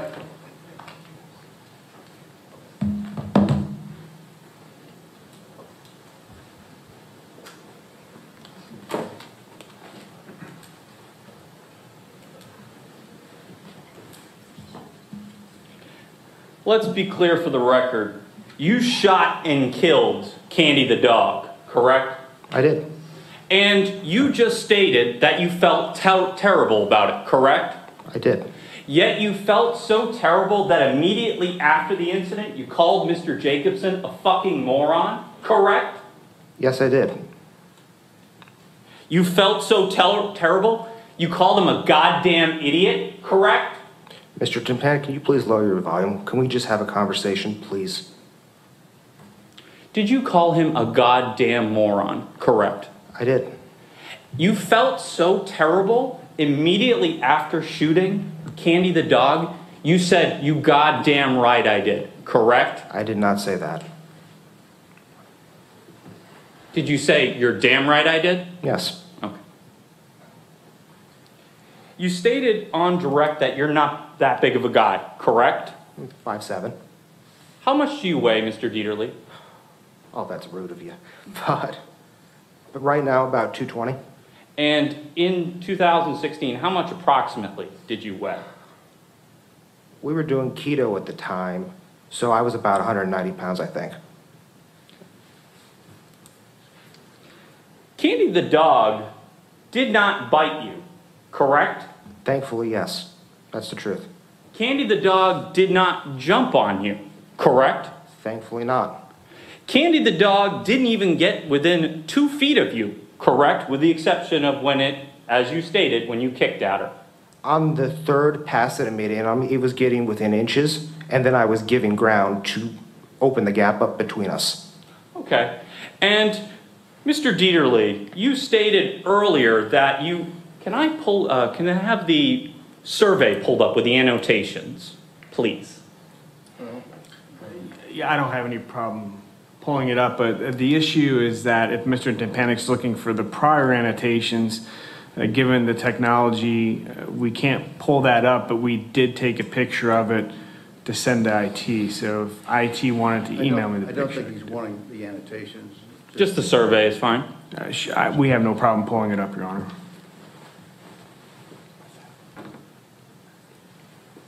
This is, obviously, this is your grandfather's property, correct? My family's. No. Who is, whose property does this belong to? It belongs to D. Deaterly, correct? You're wrong. It belongs to Spring Release LLC, correct? Did you do your research, Mr. Panik? There's three officers of that. My father is one of them, my grandfather was one of them, he's since passed, and my aunt.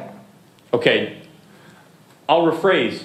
Are none of those individuals you, Mr. Deaterly? None of those individuals are me.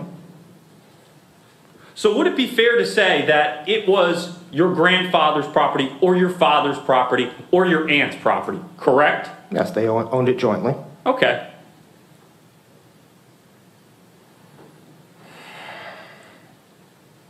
And you said earlier that Mr. Jacobson uh, was not paying attention to you whatsoever, correct?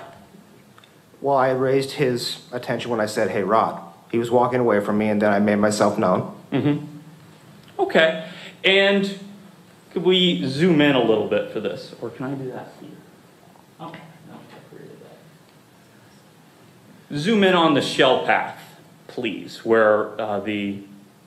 Could Mr. Deaterly, just can you, real quickly, just redraw the where the truck was, please? Roughly in there. Okay. And it's your testimony today that Candy took three passes at you, correct? Correct. And you stated you had no ability to retreat from the situation, correct? Correct. And it's also your testimony that Mr. Jacobson, by your own admission, was down by the dock, correct? Correct. And so tell me, Mr. Deaterly, you could have ran to the dock, correct? Yeah, but then I'm pinned at the end of the dock, and what do I do? Is it Mr. Wouldn't Mr. Jacobson be down by the dock? He was within sight of me. So, but that's not my question.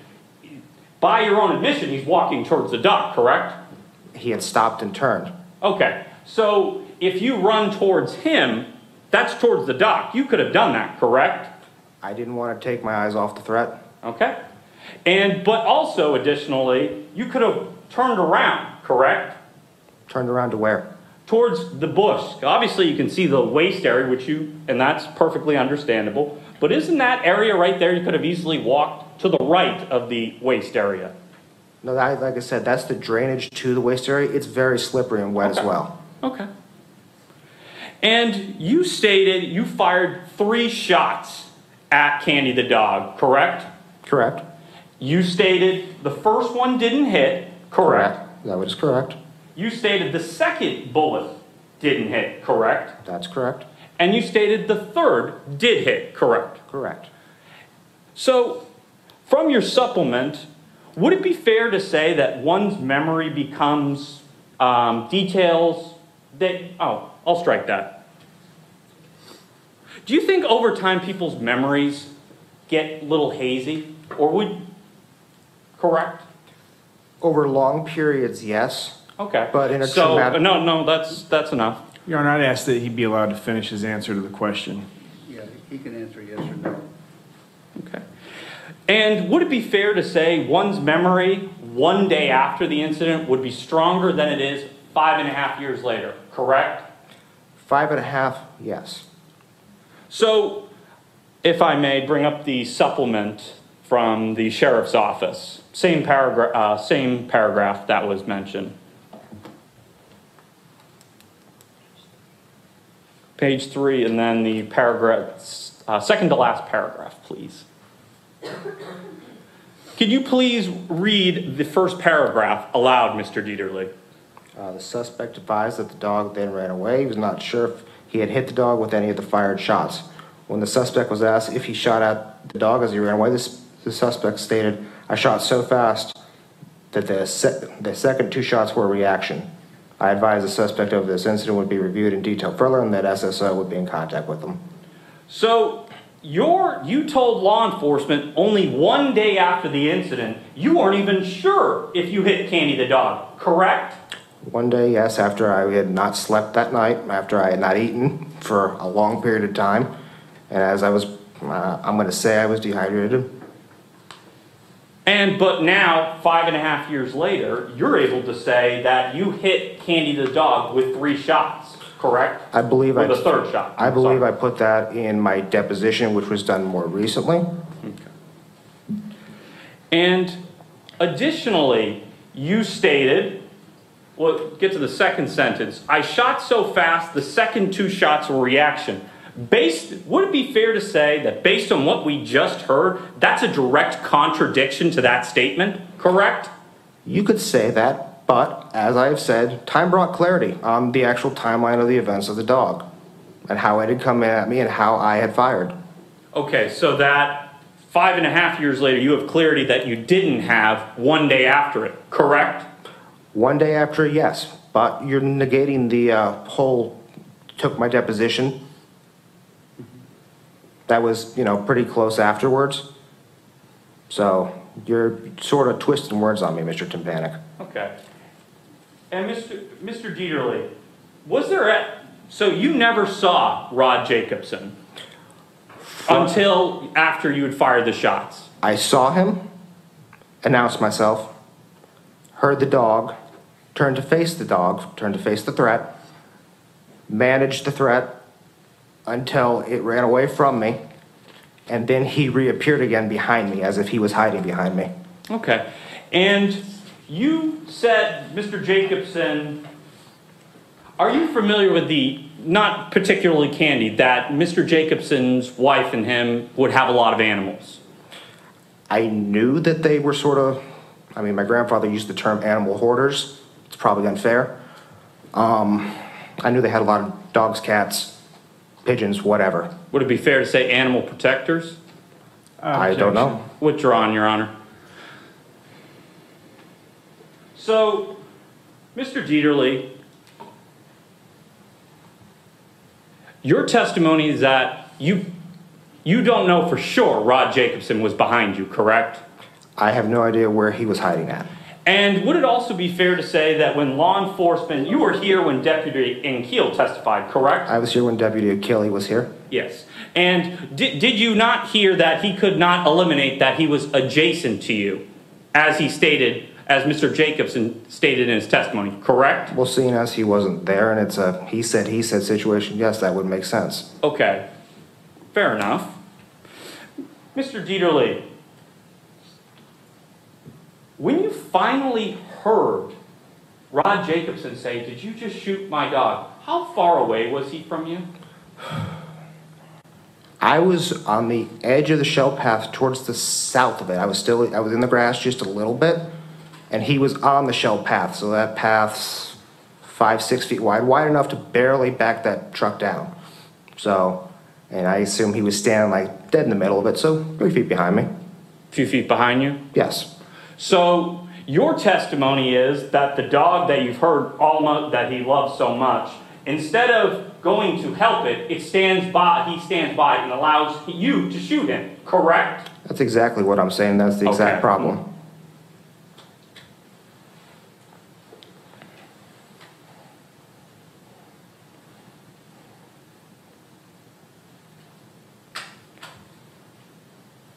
Yet, I'd like to ask you about the firearm. Mr. Jacobson testified that immediately after the incident, you called him a fucking moron, a goddamn idiot. Correct? I called him that for having that dog off leash on our land. And he also stated that you were waving your firearm at him, almost taunting him. Correct? I would never do that. Really?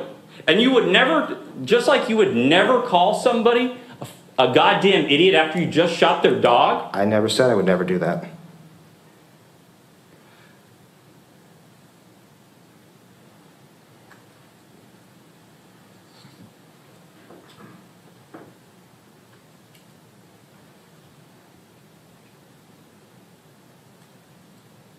Mr. Dieterle, your testimony includes that, and let me help summarize. the dog never bit you, correct? Fortunately, that's true.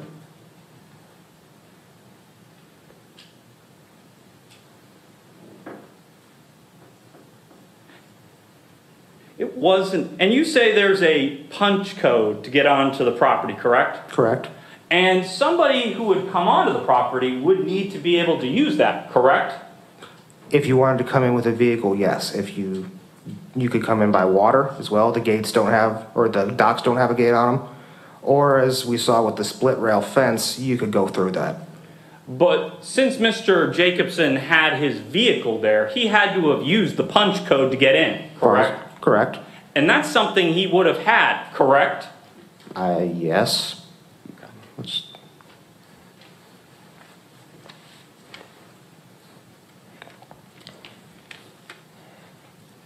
You said you were resigned to getting injury, correct? Correct. But you, and you were trying to get, by your own admission, you're trying to get Rod's attention, correct? Mm-hmm. And yet, you didn't go towards Rod. I didn't know where he was. But didn't you state earlier you saw him walking towards the path, correct? Yes, and And by your own admission, how many times you've been on the property before prior to that incident? thousands. So you would know exactly where he'd be heading, correct? Calls for speculation, Your Honor. I'll, I'll rephrase. You knew Mr. Jacobson docked his boat right at the end of the path, correct? Objection, uh, improper foundation, proper predicate, and that's something that goes way above uh, direct. I'll, uh, go ahead. Rephrase, pl- or repeat, please? Sure. You knew Mr. Jacobson docked his boat at the end of that shell path, correct? I knew that that is where he kept it. I don't know if it was there that day or not. Okay, Couldn't see but, to. okay. But you knew, would it be fair to say you knew that's where usually his boat was? Usually, yes. And you usually knew that, and would it be fair to say that the two instances, two types of situation, primary, that your, Mr. Jacobson would be on the property, to, would be either to be on his boat or working on your grandfather's property, correct? Objection, calls for speculation. Overruled. You can answer. I don't know Rod Jacobson, so I don't know what he would be doing. He could, You, uh, all right, that's fine. You stated earlier that he was a vacationing buddy and a drinking buddy, correct? correct? Now, what, that mischaracterizes the uh, witness's testimony, Your Honor, so I'm going to object to that question. It was the grandfather's drinking buddy and travel buddy. Oh, yeah, I'll rephrase that. Rod Jacobson, by your own testimony, was your grandfather's vacation and drinking buddy, correct? That's correct. And you heard testimony from Mr. Jacobson that he was sometimes on the property and he did some, like, help around the property activities for your grandfather, correct? Yes, And you knew that he would, he'd been out on the property numerous times, correct? I was aware. And would it be fair to say that if he's walking down that, can I pull up that survey? Just so we can see. And zoomed in at the end of the shell path, please. That, you, you obviously see this photograph. Right. And you know if he's walking in that direction, he's very likely walking towards his boat, correct? That would make sense. And would it be make sense that considering you said you were what, 60 feet from him, correct? Give or take, yes. And you could have easily walked right to Mr. Jacobson where he was if to potentially help you. You're already calling out to him, correct? Yes, but I also didn't want to take my eyes off the dog that was running at me, snarling at me, so walk backwards? No, I, like you said, you're standing face to face. Like uh, you draw the dot just so we can be able to. So you're face to face with the animal, correct? Correct, facing. And you turning this way to the right, which would make sense, you're not taking your eyes off the animal, correct? That would be wrong. If you're if you are Candy the dog and I am you, and I turn right as the survey, I'm still being able to keep my eyes on you while still walking the direction of the duck. Objection, correct? calls for speculation. Hold, hold on. The witness can answer. Dog was moving around. It was constantly mo- moving, milling about, coming sort of from different directions. I didn't want to risk taking my full attention off of it. Okay, that's fair. And yet, you made no effort to try, since you're calling out to, why did you call out to Rod? The first time, Yes, I know. When did you get your dog off me? Why did you call out to Rod specifically? Because he was the only other person on the property. We don't have any witnesses to this i- incident. So, So you assumed that it was Rod's dog, correct? yes, So that you knew that if you were able to, so would it be fair to say that you knowing that you could have got to Rod and Rod could have helped you out, correct? I can't outrun that dog to get to him in time. But you don't even need to outrun it, Mr. Deaterly. By the looks of it, it looks to be 20, 30 feet, correct? I don't know. I don't know the scale of it. You'd have to. You don't know the scale of a property you've been to thousands of times? I'm not good with distance, honestly. But you were good with distance when you said with it, it came within two inches of you five and a half years later, correct? Little difference between 20 feet and 2 inches, Mr. Timpanik. Oh, good, yes. 20, yeah, it was 20 and 24 inches and 26 inches. Uh, Claire, good clarification. So you're talking about, I'm not good with distances, yet during the stress of the situation with a vicious pit bull allegedly trying to come at you, you're able to judge that it's 24 inches, correct? I never said 24 inches. You never said that in your deposition that it got within 24 inches? So we can, obviously, we're gonna do the deposition thing now. Sorry, you're narrating for yourself. Oh, No, we'll, we'll come back to you, Mr. Deaterly, don't worry, I haven't forgotten about you.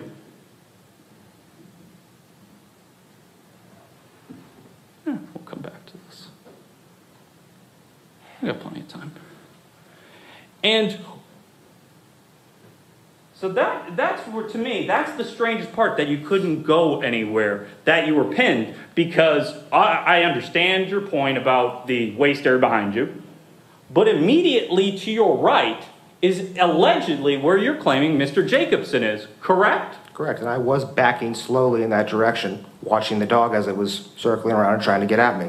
So Yelling for the owner, thinking that maybe he would find it within himself to approach. And- te- tell the dog to sit. and tell the dog okay, to stay. and would it be fair to say that Mr. Jacobson did eventually approach? Yeah, after all was said and done with. Uh, but yet you said, okay, during this whole thing, he walked up and he was right next to you, correct? didn't see him Objection, there. this characterizes the witness's prior testimony. All right, restate the question. You heard Mr. Jacobson say in during his testimony that he was shoulder to shoulder with you, correct? That's what he said. He says a lot of things. Okay, and but if he wasn't shoulder to shoulder with you, you've heard Mr. Jacobson's voice. How would he be able? How would you be able to hear him when he said, "Did you just shoot your dog, my dog?" If he wasn't a three feet from you, Mr. Deaterly, Because he was right behind me.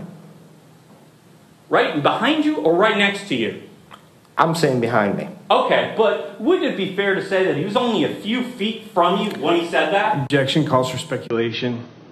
Obviously, the witness can't see anything that's behind him. Sustained.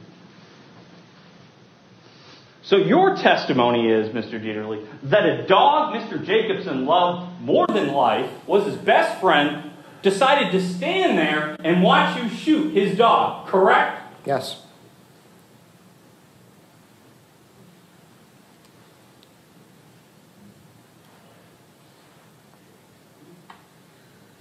Immediately following the shooting, Mr. Jacobson went to his boat, correct? From what I can tell, yes. And you heard Dr. Ellis testify, correct? Yes. And Dr. Ellis testified that the bullet went in from one side and stayed in Candy the dog, correct? Yes. And would it be fair to say that that bullet had to go in, that dog had to be angled from a side for it to actually enter, correct? Where it did. Objection, objection calls for speculation. Yeah, sustained.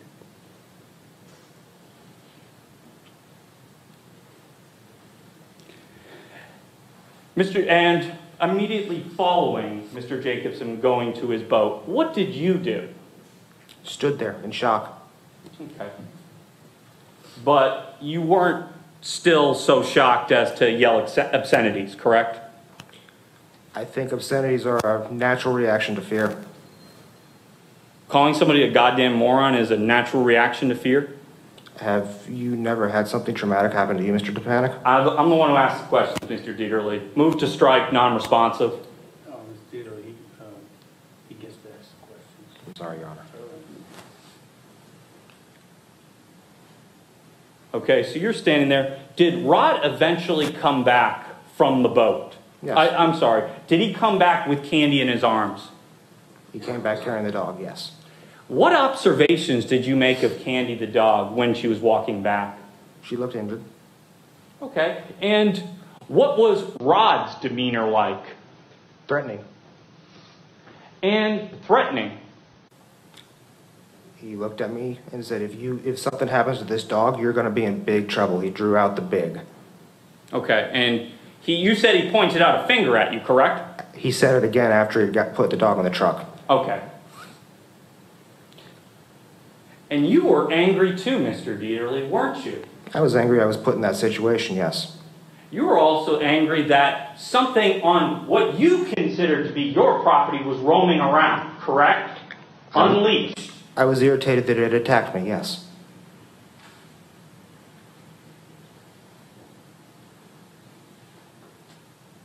May I have a moment, Your Honor? Yes, sir.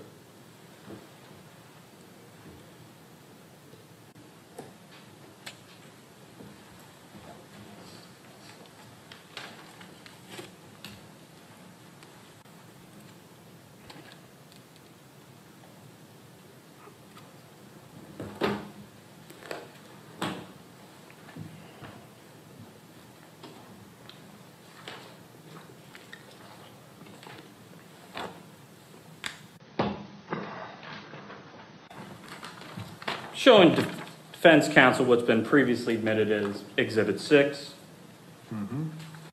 May I approach the witness, Your Honor? Uh, yes. This is Candy the dog, isn't it? It Mr. is. Deaterly? And this is her dead, correct? That's correct. And this is her dead at your hand, correct? Sadly, yes.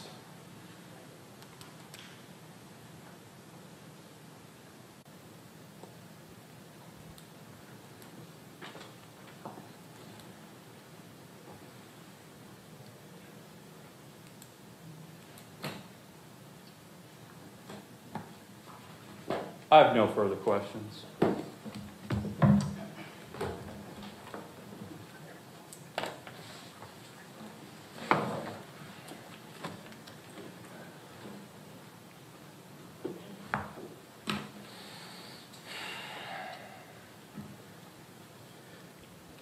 Mr. Deaterly, uh, we're here in court because of a lawsuit, right? Correct. Uh, Do you know when this lawsuit began? Was it 2017 it got filed in, or? I know the incident happened in November 2016. So, August 2017, sound about right? about right, yes. So this lawsuit's been pending for almost five years? A little more than that, yeah. And has this something that you've had to live through every day as a result of living through this lawsuit? Yes. So when you heard Mr. Timpanic te- uh, ask you if this is, you're somehow miraculously remembering this five and a half years later, is that true? No, because I relive it every damn day. Excuse me, sorry, Your Honor. And during the course of this lawsuit, did you have your deposition taken? Yes, And do you recall when that was? believe 2018? And would it have been early 2018? Yes. And Mr. Deaterly, this is, is this the first time you've told your story It's the first time I have in five and a half years? in five and a half years.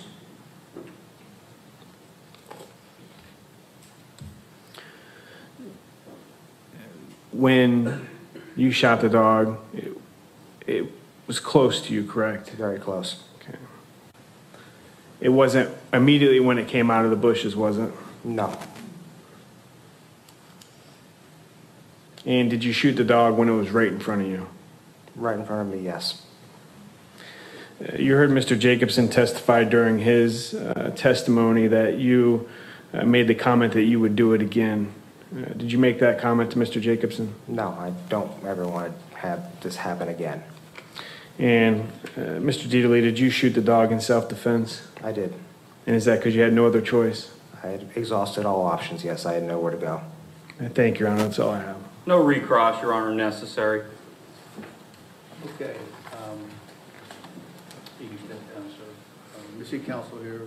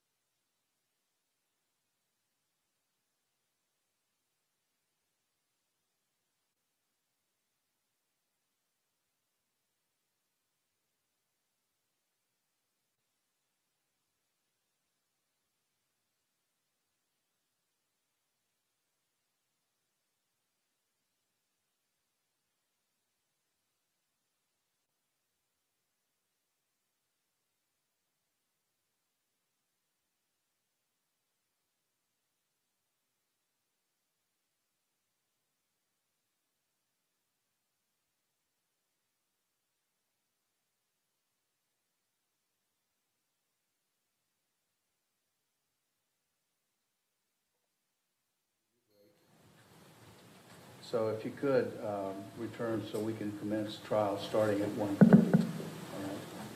So leave your pads on the chairs and we'll see you back at uh, 1:30. Jurors exiting.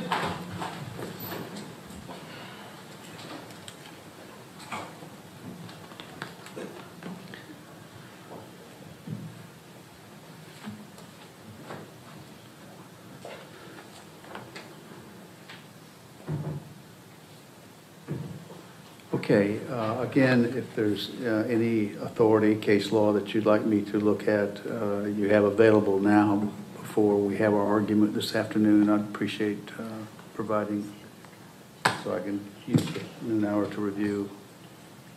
I- I've seen your memo already on the assault. Yeah, I was just going to ask you that. And do you still have the um, notebook that we provided you with the proposed jury instructions, Your Honor, with the case law? Um, I've got so many notebooks.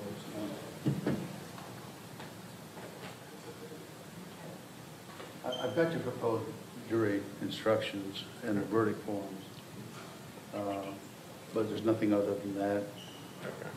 Okay. All right, see you back at 1:30. Thank you, Your Honor. All rise. Court's in recess.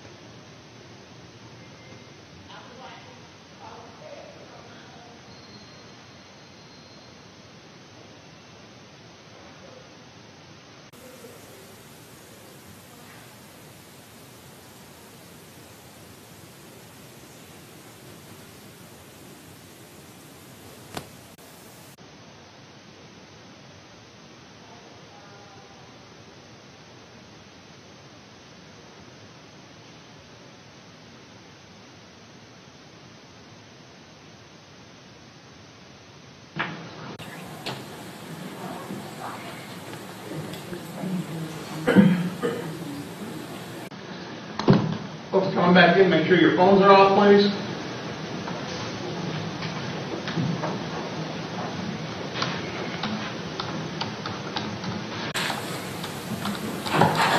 All rise, jurors entering.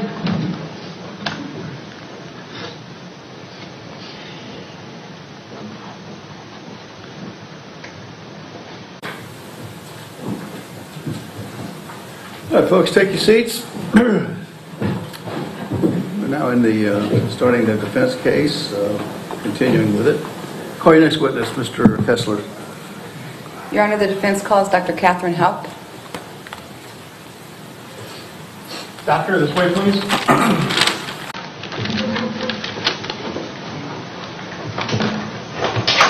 And if you'll stand here, face Madam Clerk, raise your right hand and be sworn.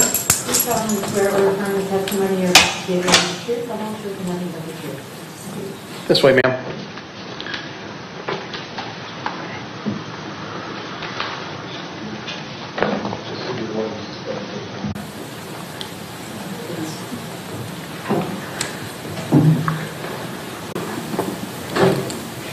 You may want to get closer to the microphone. Good afternoon, Dr. Houpt. Can you uh, tell the members of the jury your name? Uh, Katherine Albro Houpt. And what is your occupation? I'm a veterinary behaviorist. Do you have your bachelor's degree? Yes, What is your bachelor's degree in? in pre-vet, 1960. Do you have your veterinary medical degree? Yes, And what year did you receive that? 1963. And have you been licensed as a veterinarian since that time? Yes, What states are you licensed as a veterinarian? uh, New York. Have you held licenses in other states? Yes, Pennsylvania and Michigan. Do you have any graduate degrees? Yes, And what is your graduate degree in? a, a PhD in behavioral biology, And when did you receive your PhD in behavioral biology? 1972. Do you have any specialty? I'm sorry? Do you specialize in any Yes, I veterinary specialize in treating animals with behavior problems. And can you describe for the jury what it means uh, to have a specialty in that area? That means that in order to be a specialist, you have to have had uh, three years of training, pass an examination, publish a paper, and three case reports. And then you are uh, a diplomat of the American College of Veterinary Behaviorists. Okay. Uh, Generally, the um, area of clinical animal behavior, can you describe to the members of the jury what that is? That means that you treat dogs, cats, horses, whatever species it has a behavior problem that the owners cannot live with. What is your current title in your occupation right now? I'm emeritus professor of uh, veterinary behavioral medicine, And where is that located? Cornell University. And what types of cases uh, do you treat there as emeritus professor? Uh, behavior problems of dogs, which is mostly aggression and separation anxiety, uh, behavior problems of cats and horses. Prior to your emeritus status at Cornell University, were you a full-time James Law Professor of Animal Behavior there? Yes, And earlier on in your career, did you practice um, small animal veterinary medicine? Yes, Now, I want to ask you, you had mentioned you were a diplomat of the American College of Veterinary Behaviorists. Can you describe that organization to the jury? That's an organization of individuals who have gone through all the steps I described, publishing papers and passing an examination, um, and therefore they are, can call themselves specialists. And are you a diplomat in that organization? I'm a diplomat, I'm a founding diplomat. And how many diplomats are in the United States? There are about 100. Uh, Do you, is, why is the um, membership so low in that organization? Well, it's relatively new, and also, as you can hear, you have to go through a lot of steps in order to become a specialist in veterinary behavior. Are you also a member of the Animal Behavior Society? Yes, What is that organization? that's a group of individuals um, who study animal behavior, both wild and domestic animal behavior. Are you also a member of the American Veterinary Medical Association? Yes, Can you describe that organization? That's an organization of people who have graduated from uh, colleges of veterinary medicine. Have you authored any books, Dr. Houpt? Yes. Okay, And could you describe the books you've authored? Uh, The primary one is uh, domestic animal behavior for veterinarians and animal scientists.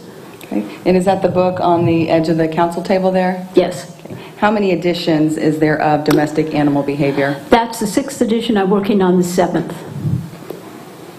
And does your book, Domestic Animal Behavior, include research and information on the behavior of dogs? Yes.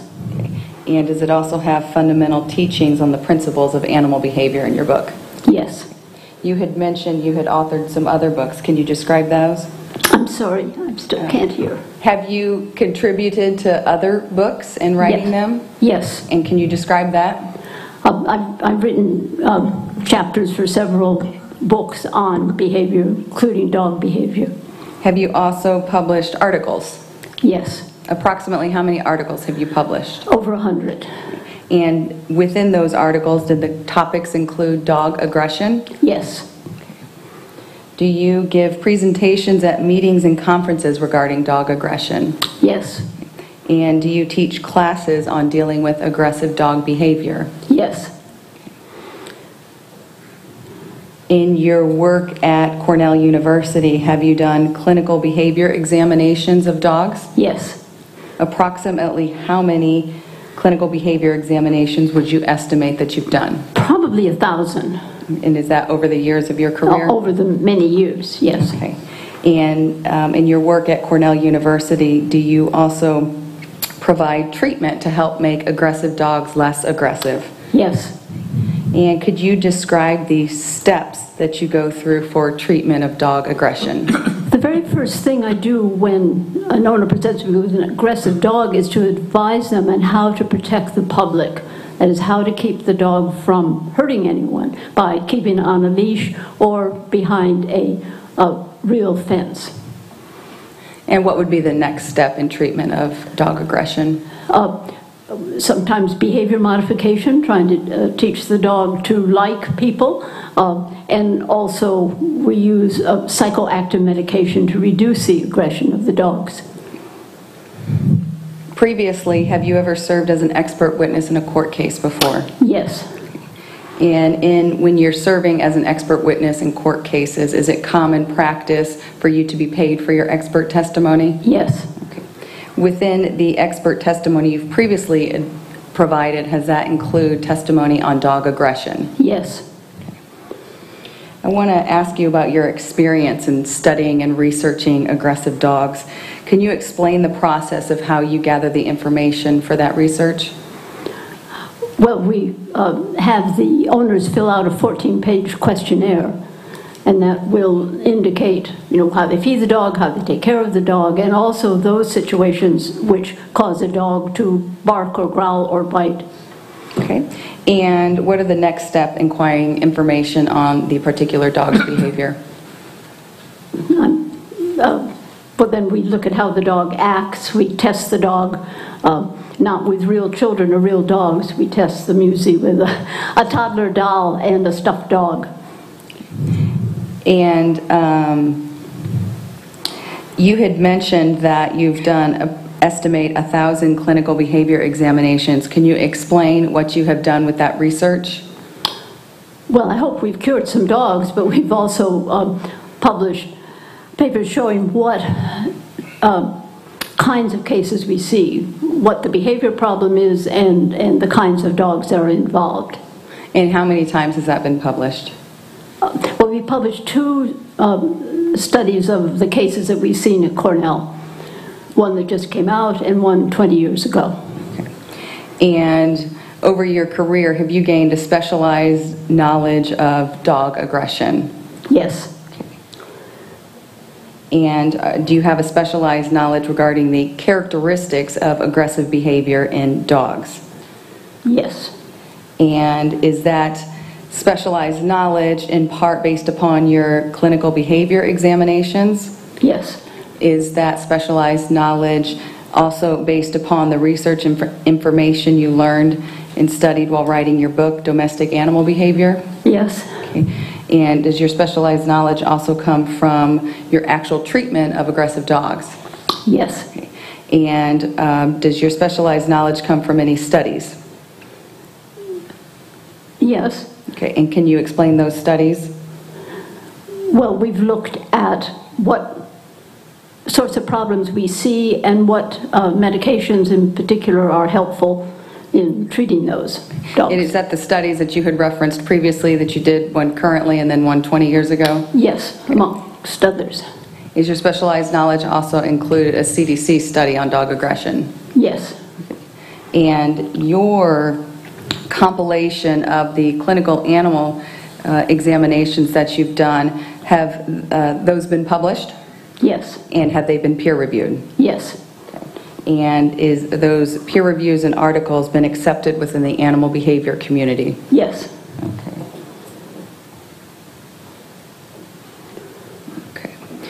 And have you reliably used the information you've acquired um, with your specialized knowledge to know about the aggressive characteristics of dogs? yes, Okay. Do other experts who are in the animal behavior community also form, um, have specialized knowledge um, based upon the process that you've just described of how you acquired specialized knowledge? yes, Okay, and is it the regular practice for experts to um, acquire that specialized knowledge based on how you've described it? yes. I want to ask you a few questions about the characteristics of aggressive dogs and start by asking you, what is the most common behavioral issue in dogs? is aggression. What is the best predictor of whether a dog will show aggression? The best predictor is whether it has shown aggression before. Okay. Now, I want to ask you about some of the distinctions between characteristics of calm dogs and aggressive dogs. Can you describe visual signals to show that a dog is acting calmly? Calm dog will be relaxed in his body posture. His tail will be down, maybe wagging slightly. Uh, its mouth will be open and his tongue will be lolling. In His hair will not be standing up. Thank you. In contrast to calm dogs, can you destri- describe the uh, characteristics of an, a dog that's acting aggressively? Aggressive dog will be stiff in its body posture. Its tail will be up, um, maybe wagging slowly. Um, its hair will be standing up. It's, that's called its hackles will rise. Um, it will be showing its teeth, especially the front teeth. Dr. Houpt, are spayed female dogs more aggressive than non-spayed female dogs? Yes. And can you explain why that is?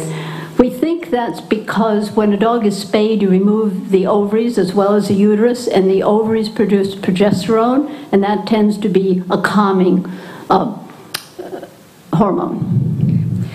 Is barking an indication of aggression? Depends on the bark. The- Can you there- describe that distinction? Yes, the, um, there's the bark that means, you know, I want to come in the house, like arf, arf, arf, or the bark that means I'm aggressive, which is ruff, ruff. Okay.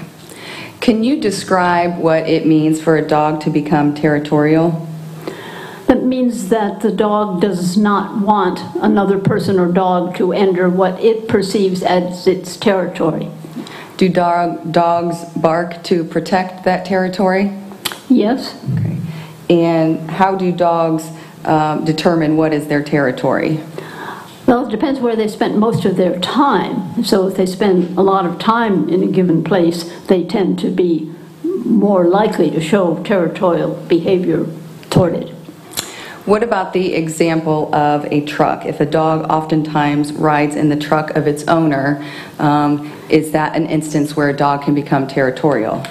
Yes, many dogs, even dogs that are fine otherwise, will often be aggressive about the vehicle. And that's partly because they've spent a lot of time in it. It smells like them, it smells like the owner.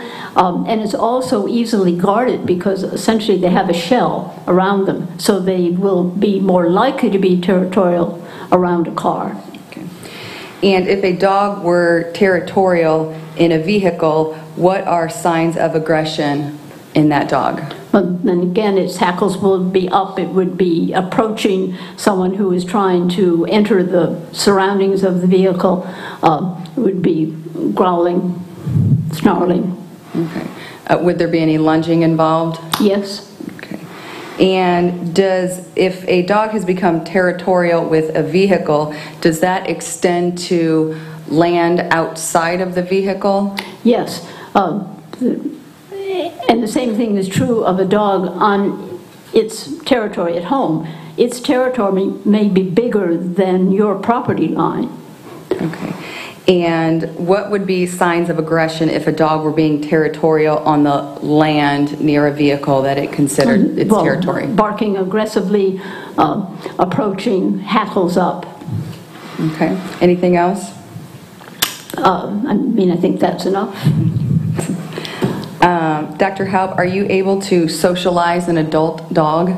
It's very difficult to socialize an adult dog. The socialization period for dogs is between 7 and 14 weeks. And after that, you may habituate the dog to, you know, people approaching or bicycles, uh, but you won't truly socialize it.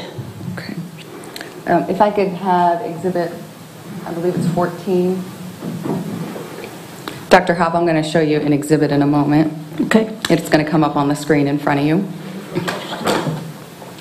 And Your Honor, I think you need to uh, give control to the table over here.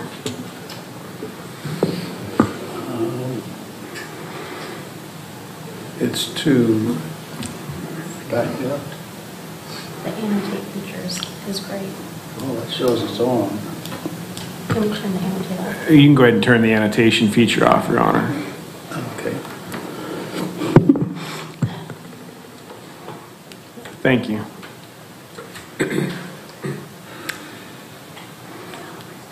No. Oh, it is now. Okay. All right. Dr. Houpt, do you see the exhibit uh, that's in front of you, the x-ray of um, the dog in this case? Yes. Okay. Are you familiar with what a prong collar is? Yes. And do you see the prong collar in this exhibit? Yes. Okay. What is the purpose of a prong collar? Uh, purpose of the prong collar is to exert pressure, pain on the dog when uh, the leash is pulled. Okay. And what would be the reason for that? The reason could be that, that the dog um, likes to pull, likes to get away, so if you want to control it, um, you could use a prong collar. Okay. Uh, Does the use of a prong collar uh, make a dog more aggressive? There is no published study on that, but most behaviorists think that it tends to make a dog worse because every time he s- lunges for somebody, he gets a pain in the neck. So he's not going to be very predisposed to like the people he's lunging toward if he associates them with that pain. Okay. Thank you, Dr. Houpt. That's all I have for you. Okay.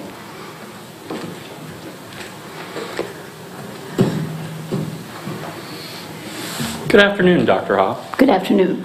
You are a paid expert witness, correct? That's right. And can you tell the jury what is your hourly rate? $250 an hour? Do you get paid if you travel? Yes. And what is your rate if you travel? $1,000 a day? Do you get your expenses paid for? Yes. Airfare? Yes. Hotel? Yes. And in preparation for this case, did you speak to any witnesses? No. Did you go out to the scene at all? No. What did you just review a few depositions for this case? It seemed like a lot of depositions, but yes. I'd say. Um, what you stated about a pinch collar, that's not all of the reasons one would put a pinch collar on, correct? That's the only one I know of is to control the dog. Okay.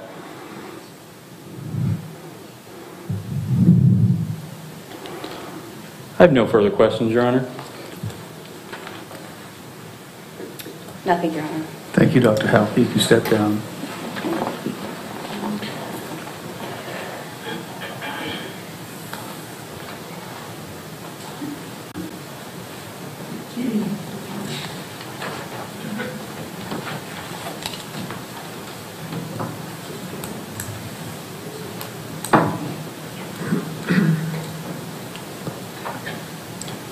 Who's up? Uh, If we could have a um, conference with you first, Judge. All right.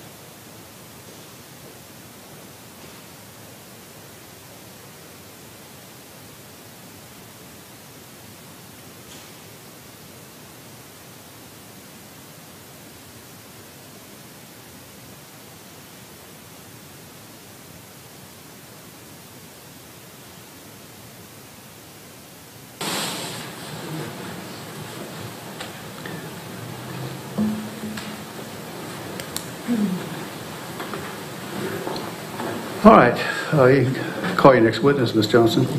Uh, The defense calls Richard Mulvihill.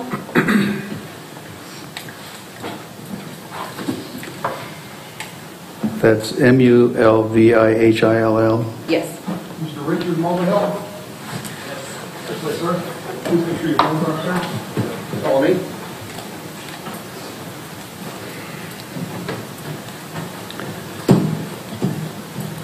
Sir, if you'll stand here, face Madam Clerk, raise your right hand and sworn. Do you solemnly swear or affirm the testimony you're about to give will be the truth, the whole truth, and nothing but the truth? Yes. This way, sir.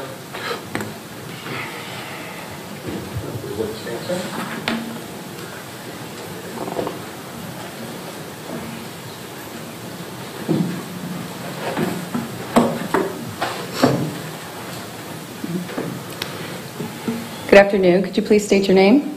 Richard Mulvihill. And what is your occupation? I work for Southern Spring and Stamping. And who is your supervisor? Uh, Jeff Deaterly. Is that Zach's father? Yes, it is. Okay. And um, uh, what specifically do you do um, at your job? I oversee sales and manufacturing. Okay. Have you ever met the plaintiff, Rodney Jacobson? Yes, I have. And where was it that you met the plaintiff? On the uh, Luella Lane property. Do you recall when that was? Yeah, it would have been uh, late July, early August 2016. Okay. And what was the occasion that you were at the Luella Lane property? I was using the uh, property uh, for the weekend to store my boat at the dock. And did you have permission to be there? Yes, I did. Who else were you there with? I was with my wife and my son and my daughter. And at the time, were your children young children? Yeah, they were school age, um, middle school, elementary school, I believe. Okay. And what was the plaintiff doing at the Luella Lane property when you saw him? He was um, taking objects from his boat to his truck. Okay. And did you interact with the plaintiff? I did, And can you describe that? sure.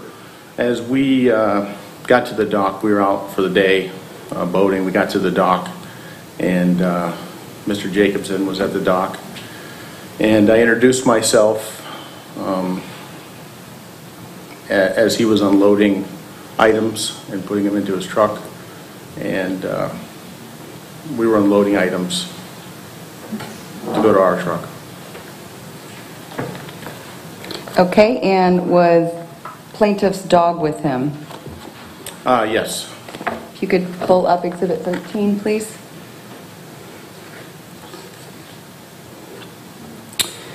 Uh, Mr. Mulvihill, you're being shown uh, Exhibit 13, which has been admitted into evidence. Is that the dog you referred to as plaintiff's dog? Yes. Okay.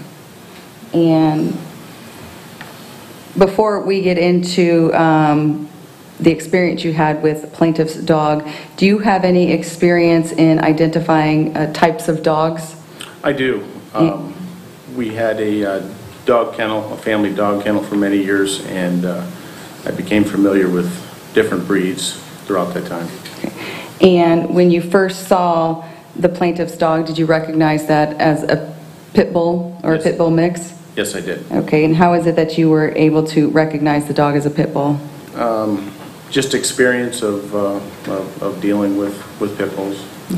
It- Was that your experience at the kennel? Uh, Yes, experience at the kennel. Okay, and um, what, what has been your experience with pit bulls at the kennel? Well, we had, uh, our insurance did not, als- did not allow us to um, board pit bulls, Um, but on, a- on a couple occasions, we did have them. Um, In both incidences, they were negative interactions. We had one, he threw a chain link fence, and we had one that attacked my wife. Turning back to um, when you were at the property in 2016, um, when did you first see the plaintiff's dog on the property? As we were unloading my boat, going to my vehicle, to my truck, uh, we had to pass by uh, the the truck that he was using to load the items. And as we, there was a narrow walkway, as we passed by the truck, Um, We did not know there was a dog in there, but the dog lunged at the, the window, scratched, um, clawed at the window, growled, barked. And what did you do? Uh, Got my family to uh, my vehicle, um, tried to get them there safely. And um, did you continue walking by the truck? We did. We had to pass by because it was a narrow uh, walkway. There was, uh, he was backed into the the shell area towards the dock, and we had to uh, pass narrowly next to the vehicle because of uh, trees and bushes on the south side and mud and um, some things on the, on the north side. And um, that's when we passed by it on the passenger side of the vehicle. Okay. And um, how you described it, was it acting aggressively towards you and your family? I would describe it as very aggressive. Okay. Um, What do you recall about it being, uh, uh, let me clarify, was it inside the truck? It was inside the truck, yes. Okay, and can you explain its behavior? Again, it was, um, you know, it was, it was clawing at the window. Um, I don't remember if the window was all the way up or partially up, but I had um, concern that the dog was going to get out of the truck. And, um, you know, my, at that time, my responsibility was to get my family to, to my vehicle, get them inside the truck. And did you do that because um, you were concerned about the behavior of the dog possibly harming your family? Yes, and I continued to unload my boat by myself. Um, When I first approached the dock, when Mr. uh, Jacobson was unloading his boat, I offered to help. I saw some of the items were heavier, so I offered to help him, so I had to return to help him as well. Uh, Based on what you saw from the dog inside of the truck, were you afraid for the safety of your family? I was, yes. Okay All right. thank you, Mr. Mulvihill. Thank you.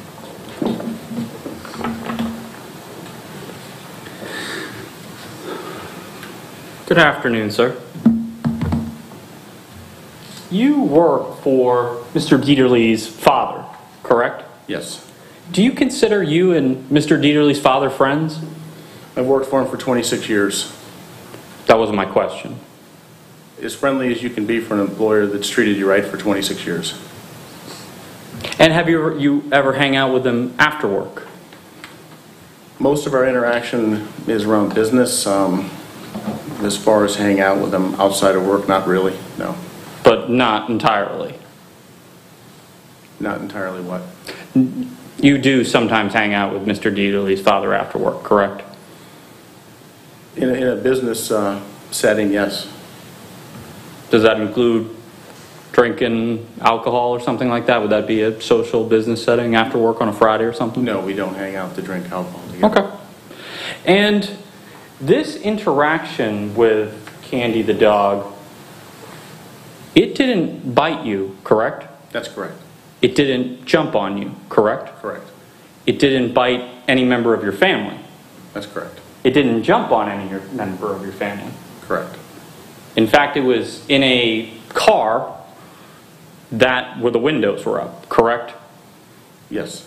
So that dog could not have gotten at any one of you or your family, correct? That's not correct. Explain how, when the windows are up, the doors are closed, how couldn't, how could the animal get at you? Uh, Animals can get through uh, windows, doors. Like I said, my experience with the breed, I've had a a pit bull eat through a chain link fence. And, but you did testify that it tried to get through the window and failed, correct? Tried to get through the window and failed. Yeah, because it was jumping up against the window, that was your testimony. It was actively, um, aggressively acting towards us. Okay. Sure. Have you ever been barked at by another dog Uh, Yes, frequently? I would say yes. And did you consider those interactions aggressive? I've had aggressive interactions with animals before. Okay. But not all, not all dogs who bark at you are aggressive, correct? No, not necessarily, no.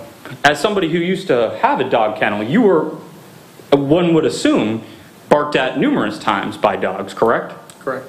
And all of those times weren't aggressive, correct? all of the times were not aggressive. No further questions. Nothing further, Your Honor. Thank you, sir. You're excused.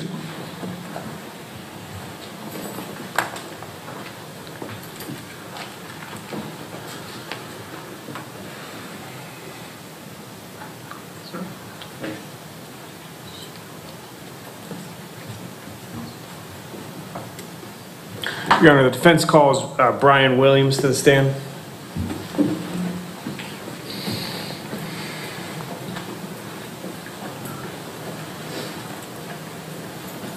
Brian Williams? Sir, phone's off, follow me, please.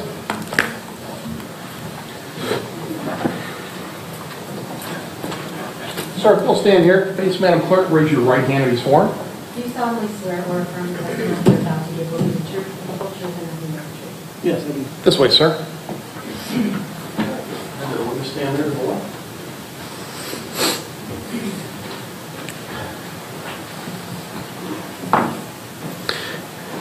Good afternoon, sir. Can you uh, please tell the jury your name? Brian Williams, And Mr. Williams, uh, where do you currently live? in Venice. And what is your current occupation? I'm a property maintenance handyman. And do you maintain uh, the property located at 220 Luella Lane, Nokomis, Florida? Yes, And how often do you visit the Luella Lane property? a couple times a week. Uh, In 2016, did you visit the property more? Yeah, in 2016, I was out there. We had different projects going on besides just general upkeep, so I was out there more often. And Mr. Williams, I'm having a hard time hearing if you could pull your microphone closer or, no, thank you. Uh, Can you go ahead and restate that answer again? I said in uh, 2016, I was out there more often because we had projects going on besides just general maintenance and upkeep. Uh, With those projects that were going on in 2016, did you ever observe nails laying on the ground? Yeah, quite often. And are there still nails to this day out on the property? Yeah, as a matter of fact, I picked up a whole handful Tuesday when I was out there. Uh, I'm going to go ahead and uh, we'll pull up exhibit number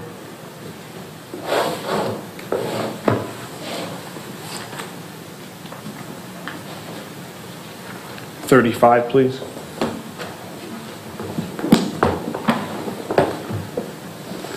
Go ahead and turn to the second page, please. Mr. Williams, I'm, I'm showing you what's been previously admitted into evidence as Exhibit 35, which are surveys of the Luella Lane property. Are you familiar with the layout here on the second page of the survey? Yeah, I'm just trying to get it all straight. Yeah, Okay. Uh, Are you familiar with the woodshed also, what's been referred to here as the pump house? yes. When you were doing projects or when there were projects being done on the property in 2016, were there ever any dumpsters or dump trailers on the property? Yes. And where were those uh, located?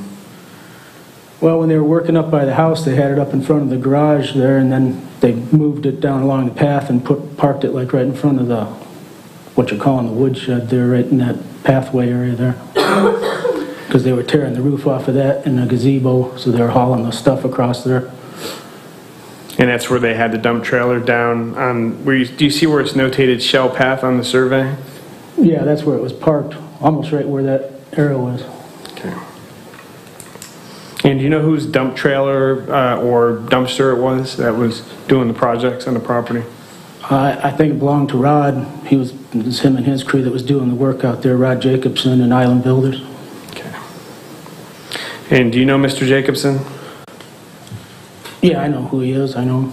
And how do you know him? From him doing work on the properties, that were same places where I was working. And how long have you known Mr. Jacobson for? Uh, I think 2014, I think I met him the first time. 2014. Is that when you moved to the Venice area? Yes. And had you ever seen Mr. Jacobson at the Luella Lane property? Yeah, quite often. And when you would see Mr. Jacobson at the Luella Lane property, did you have an opportunity to interact with his dog Candy? Yeah, a few times. Were you able to observe what type of breed Candy was? I would call her a pit bull. And how were you able to tell that she was a pit bull? Just by her conformation, she had, you know, small dog, stocky, blocky head. Do you own pit bulls? Yeah, I've owned pit bulls for most of my life. If we can go ahead and pull up Exhibit 6, please.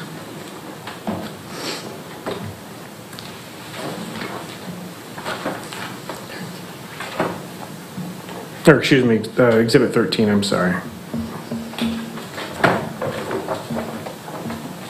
Is this a uh, picture of Candy of the dog that you would see on the Luella Lane property?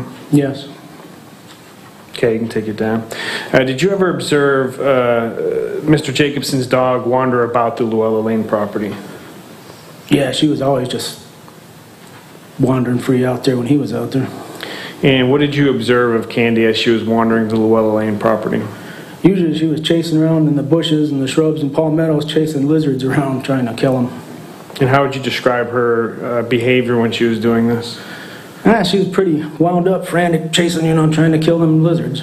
She was after them. Did you ever observe Candy run on the property? Well, not so much run. She stayed in the bushes and, you know, I never really saw her run, you know, I mean, running, running across the property, nothing like that. But Did you ever observe Mr. Jacobson lose track of his dog? Yeah, a couple of times. You said a couple of times? Yes. And uh, did you interact with Mr. Jacobson after he had lost track of his dog? Yeah, I helped him find it. Okay. Did he seem concerned? Yeah, he, he, the, the one time, I, I noticed he was walking around looking like he was, he was looking for something, and I didn't know what he was looking for exactly. And so I, I said, would you lose something, Rod? And he said, oh, my dog, she wandered off. And I said, well, which way did she go? And he said, oh, last I saw her, she was headed up this way. So I started, he was walking around one part of the property, and I walked out the front of the property and started looking for her, and I walked out into, out in the road out there, Luella Lane, and then I walked down, I didn't see her, and I walked down towards uh, Circuit Road around the corner there, and she was down there on the side of the road chasing lizards, whatever she was doing, taking them, tearing stuff up in the bushes there. So I went down there and got her. She had a little, she was dragging a little short leash, so I got a hold of the leash and I took that back to her and told her out. I found her out there by the road and gave it to her. And he said, "She didn't hurt you or nothing, did she?" I said, "No, she didn't hurt me." I give her back to him, and and he took her and uh, he put her in his truck, I believe. Uh, did Mr. Jacobson ever tell you why he was concerned uh, whenever he would lose track of his dog? Well, when the first time I ever saw Candy out there, Rod Hatter, he was working on his boat down by the boat dock, similar to that, where that area where I said that the thing was parked, he'd park his truck down there and then he'd work, because he'd carry his stuff to the boat dock. So he was down there and I had come out there to do some work and I seen his truck down there.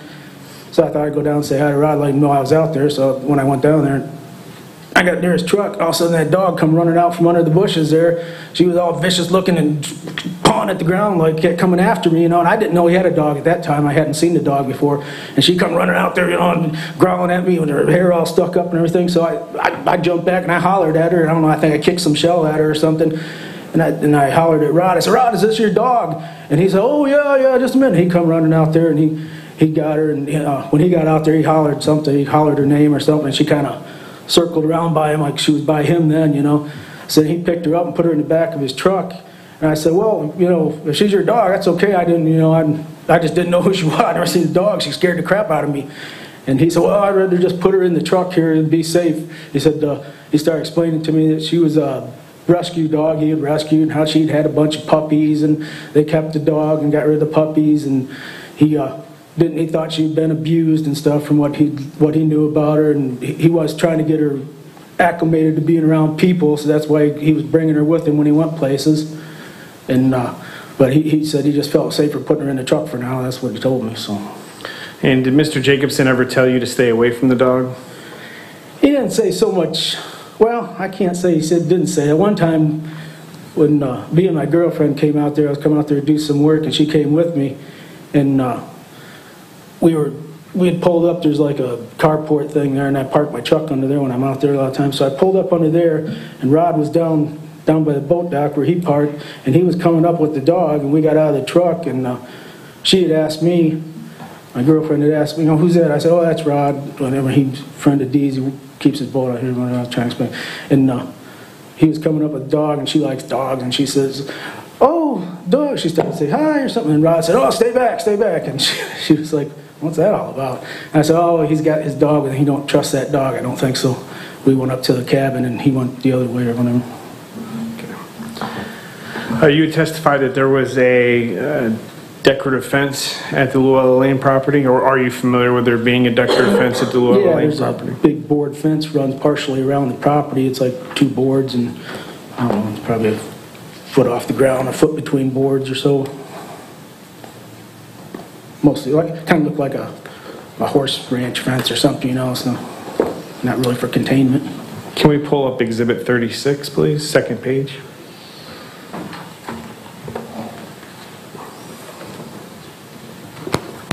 And do you recognize this in the picture? Yeah, that's the fence there. That's the fence at the at the Luella Lane property? Yep. And you're very familiar with that property, right? Yeah. Uh, Does this fence run all the way around the property? No, it runs across the front and then it runs down Circuit Road and then it stops and then the whole one side, the- the other side of the property, the north side of the property is all open, you know, you can go out through there. And I believe you testified that one of the encounters that you had with uh, Mr. Jacobson's dog was that it had escaped out of the fence and you went to retrieve it for him? Yeah, either it had gone under the fence like up here in the front or else it went out that other, that far side behind the cabin and it could just, you know, there's no fence at all over there. It could go around and come back out on the road. I don't know which way it went. Did Mr. Jacobson ever tell you that he was scared of his dog hurting somebody? Just kind of acted like he was. Like I said, when he told me he he kept it to, uh, he was trying to get it, you know, acclimated being around people. And uh, he had said that, uh, I don't know, he, he just acted like he, you know, he didn't completely tr- trust the dog and he didn't want to take any chances with it. He, he even said that he brought the dog with him when he, when he worked because he was hoping to get it used to people, but he also didn't want to leave it home with his other dogs because he didn't feel like he trusted it. And that's why I told him, yeah, well, you know, pit bulls, you got to be careful with them because they're kind of tough. I was going to talk to him, you know, about pit bull. I didn't know what he knew, but he claimed that, oh, the dog, it wasn't a pit bull, it was a Staffordshire Terrier. And so I, don't, I didn't get into it with him. Okay. Uh, your two encounters with Mr. Jacobson's dog, did you ever tell Zach Deaterly about any of those encounters? Objection calls for hearsay. Overruled. No, I've never talked to Zach. Did you ever tell uh, Mr. Deaterly's father, Jeffrey Deaterly, about your encounters with the plaintiff's dog, Candy? No. Did you ever tell uh, Jeff Deaterly about your conversations with Mr. Jacobson? Objection calls for hearsay. Um, The question, is- no. I'm going to allow it. Go ahead. No. and did you ever tell Zach Deaterly about your conversations with Mr. Jacobson? No. You're going to be asked these questions, I'm sure. Uh, The dog never bit you, right? No. Okay, the dog never jumped on you, did it? No, no. Okay. That's all the questions I have for this witness at this time, Your Honor. Thank you. No cross necessary, Your Honor. Okay, uh, thank you, Mr. Mays.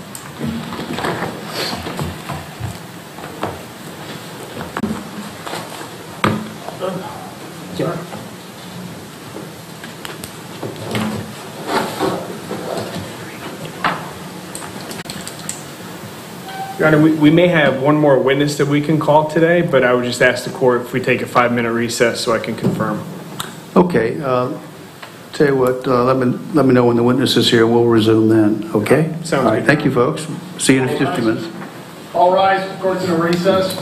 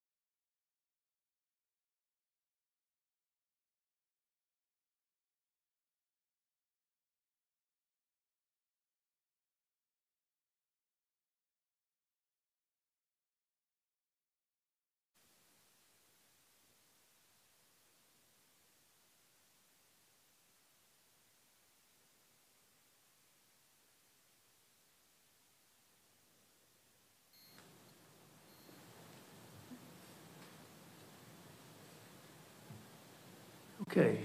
So, Your Honor, uh, Mr. Timpanic and I and and Ms. Johnson have had a discussion. Uh, We're not going to call any witnesses today, so we'll go into um, the argument, and then we intend on picking back up Monday morning. We believe that we'll be done with our case either Monday night or early Tuesday morning. Okay. Well, let's don't predict that for the jury yet. Well, I agree with you. Until we have a firm situation here. Um, So I'm going to call the jury back and let them go for the day. Yes, sir. Yes, Your Honor.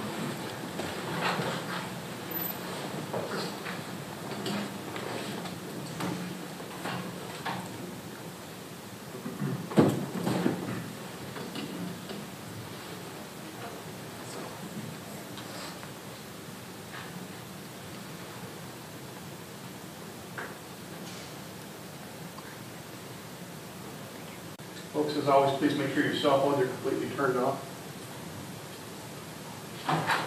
Jurors entering.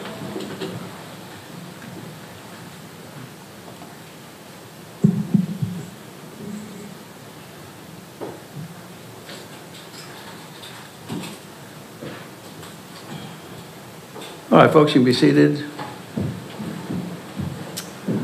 So we're still in the defense case. Um, We're not going to be able to have any uh, additional witnesses today. I hope you won't be disappointed. I'm going to let you go early. Um, But have you come back on Monday? Uh, The lawyers and I have got some work to do here this afternoon. There's no point in you sticking around for that. So um, let's say 9:30 on Monday, and uh, remind you not to do any sort of outside research, stay away from any media or news reports, and enjoy your weekend. We'll see you back here Monday. Jurors exiting. Please leave your notepads.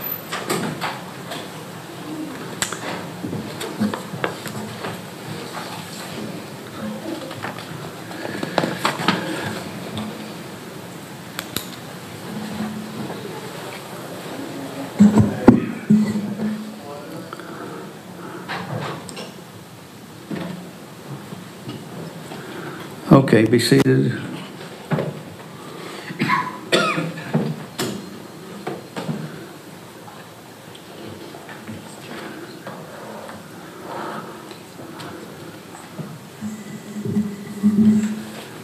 Okay, we'd reserved on uh, defense motions at the close of uh, plaintiff's case in chief.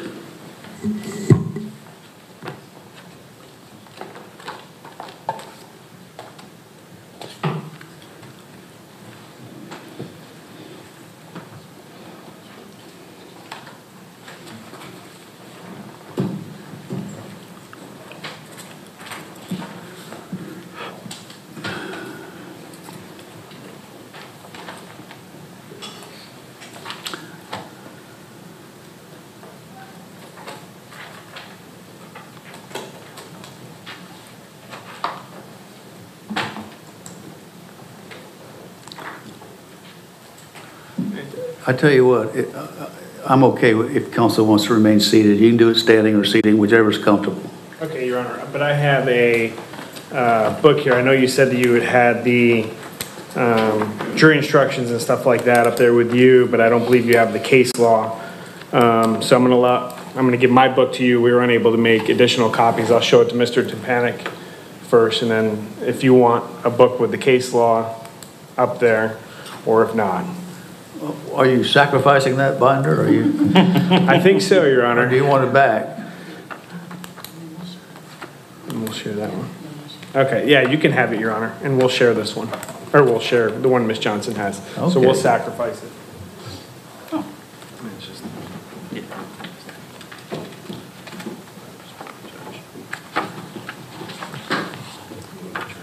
Mm-hmm.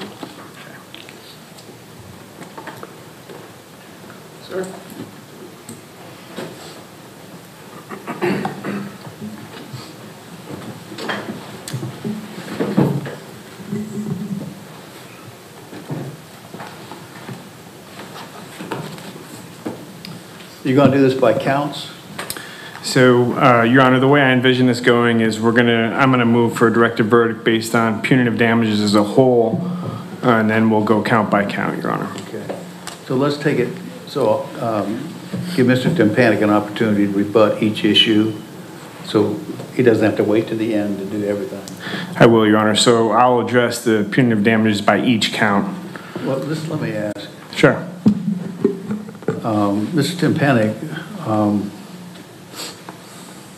what's your position on the quality of the case for punitive damages?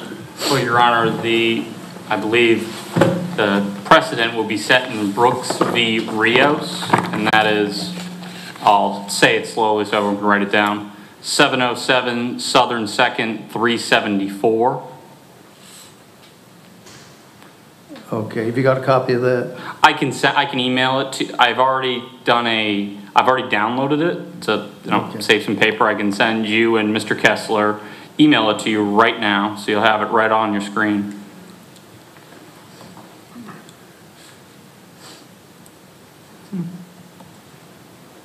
You can go ahead, um, Mr. Kessler.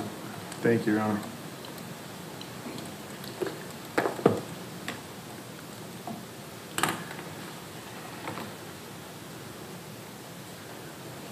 This relates to the negligence count.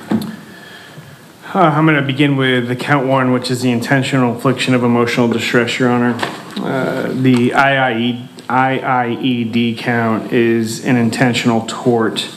In view of the evidence that's presented, been presented by the plaintiff in his case in chief, in a light most favorable to the plaintiff, the plaintiff has failed to demonstrate that Mr. Deaterly had actual knowledge of the wrongfulness of his conduct and the high probability that injury or damage to the plaintiff would occur. And that despite that knowledge, he intentionally pursued the course of conduct which resulted in injury to the plaintiff. The punitive damages statute, Your Honor, is section 768.73 excuse me, 768.72, and I'm looking at subsection 2A. And uh, the statute specifically states, a defendant may be held liable for punitive damages only if the trier of fact, based on clear and convincing evidence, finds the defendant was personally guilty of intentional misconduct. Uh, Subsection 2A defines intentional conduct uh, as the defendant had actual knowledge of the wrongfulness of the conduct and the high probability that injury or damage to the claimant would result. And despite that knowledge, intentionally pursued that course of conduct, resulting in injury or damage. As it pertains to the intentional infliction of emotional distress count, Your Honor, uh, the plaintiff has, number one, failed to show that the, uh, that Mr. Deaterly had actual knowledge of the wrongfulness of his conduct. Uh, The evidence that was presented during the plaintiff's case in chief, uh, the testimony of the sheriff's office and the sheriff's records, that they had uh, done an investigation and found that Mr. Deaterly uh, acted appropriately under the circumstances and that his conduct was actually justified based on their investigation.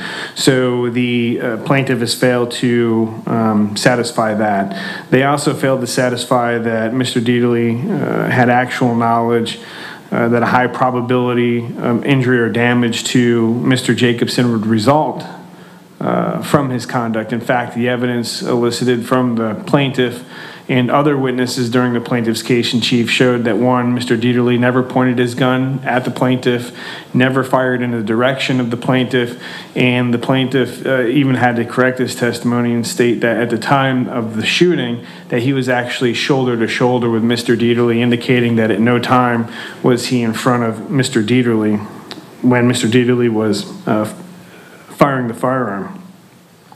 And then you have to put the qualifier in there that despite all that knowledge, Mr. Deaterly still intentionally pursued that course of conduct resulting in injury or damage. Uh, there's just no evidence to that, Your Honor. The evidence uh, shows that uh, he shot at the dog three times. Um, and uh, as a result of the investigation by the sheriff's office, his conduct was deemed to be lawful and justified. And as the court uh, is well aware, the standard for punitive damages is clear and convincing evidence.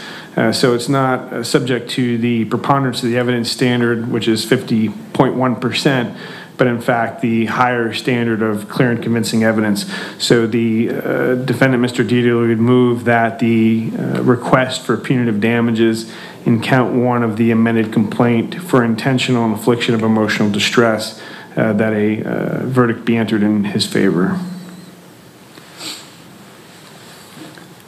Uh, Mr. Timpanic? Yes, Your Honor. First, as to the intentional infliction of emotional distress, plaintiff uh, has, I'm going to be referring upon Laporta v. Associated Independents Incorporated. This is a Florida Supreme Court case uh, discussing, it is actually the anguish result, so this is dealing with pain and suffering associated with losing a pet. This is obviously Supreme Court case, citation 163, Southern 2nd 267. The anguish resulting from the mishandling of a body of a child cannot be equated to the grief and loss of a dog, but that does not imply that mental suffering from the loss of dog is nothing at all. In that, Your Honor, the uh, in that case, I was on appeal that their court remarked, talking about how cases purely in tort where the wrongful act is such reasonable to imply malice or when the great indifference to person's property or rights of the other such as malice will be imputed as would justify the assessment exemplary or punitive damages. It's been well established that defendant's conduct, firing multiple shots, including, as we heard today from Dr. Ellis, the shot that actually killed Candy the dog was from the side. Mr. Deaterly's actions were an extreme indifference to not only human life, but the indifference to great persons, property of rights or others. Unfortunately, we, the rights of uh, the property of a dog is still property under Florida law. So his actions by shooting and killing, even, and as we heard, his testimony had changed. He originally said that in his uh, original report to law enforcement, and that was part of the reason his case was ultimately dismissed. I mean, they declined to pursue charges, is that he fired three shots sequentially. However, that's not what he said today. He said he also didn't remember. He said he didn't think he hit any of them, but today he was able to say first shot missed, second shot missed, third shot hit. And based on Dr. Ellis's testimony, that dog was shot from the side and eventually was killed from a bullet that did not enter from the front as alleged, but from the side. Uh, based on that case law, and Your Honor, I'll obviously send this to you as well. This is this is a case that's right on point, uh, where um, the case uh, jury awarded damages based on the uh, emotional distress associated from the loss of a dog. Appellant appealed and got to the Supreme Court, and they upheld it, um, Your Honor. And we'd be saying that also, additionally, it's been well established. Mr. Uh, Jacobson was there. You heard from every single person that day, including Mr. Deaterly himself, Mr. Jacobson, Miss Ellis, Miss Morris. All the people could say that uh, the uh, stress of the situation what Mr. Jacobson was going through, and then in the years that followed, including going to Dr. Edlin for, and being diagnosed with post-traumatic stress disorder. Uh, from Cindy Watson saying about how he'd wake up in the middle of the night screaming and yelling and chasing Zach. And it didn't happen one time, it happened numerous times. So, Your Honor, based on what we say and including the on what plaintiff believes is on point case law, we'd be asking you to deny that motion for judgment, uh, motion for directed verdict. Uh, Are you familiar with those cases? I am, Your Honor, but I believe counsel is referring the uh, underlying case. I haven't moved for a directed verdict on count one entirely. I've moved for a directed verdict as to the punitive damages. And, Your Honor, as to the punitive damages, uh, as you saw with the allegations and how many shots were fired and how the dog was shot and multiple, as noted by uh, Wendy Ellis, there was at least one gunshot wound from the side, and she suspected another from on the right elbow, which indicates that Mr. Deaterly obviously did not either tell the truth to law enforcement or he didn't tell the truth today. And his extreme and uh, reckless conduct firing a firearm, we've just heard from numerous witnesses who've had other interactions, including Mr. Williams, who had a similar one, uh, interaction with Mr. Uh, with Candy the dog. None of those individuals shot and killed the dog. And we'd be saying that the conduct was exceptionally reckless, including, uh, like I said, Mr. Deaterly had the ability to go simply to the doctor where Mr. Jacobson was. This is not a stand your ground case. There's no, that this is a situation where um, the dog never bit him, it never uh, jumped on him, it just, it literally was barking at him, and Mr. Deaterly shot it. We consider firing multiple gunshots, including one from the side, to be extreme indifference to human life and extremely reckless. And punitive damages for that count, Your Honor, based on the facts as they have been stated, is warranted here. Did you want to address the, um, the grounds itself? Uh, You talked about the punitives. Yeah, and I- yeah, I mean, the- the- are we talking about the punitives, or are we talking about the underlying action? Underlying action. Sure, let's go ahead and address the underlying action. Uh, Your Honor, the plaintiff, the defendant, Mr. Deaterly, would move for a directed verdict on the count for intentional infliction of emotional distress. Uh, In his amended complaint, the plaintiff seeks to recover damages for intentional infliction of emotional distress. For the following reasons, Mr. Deaterly is entitled to a directed verdict as to the plaintiff's claim for intentional infliction of emotional distress.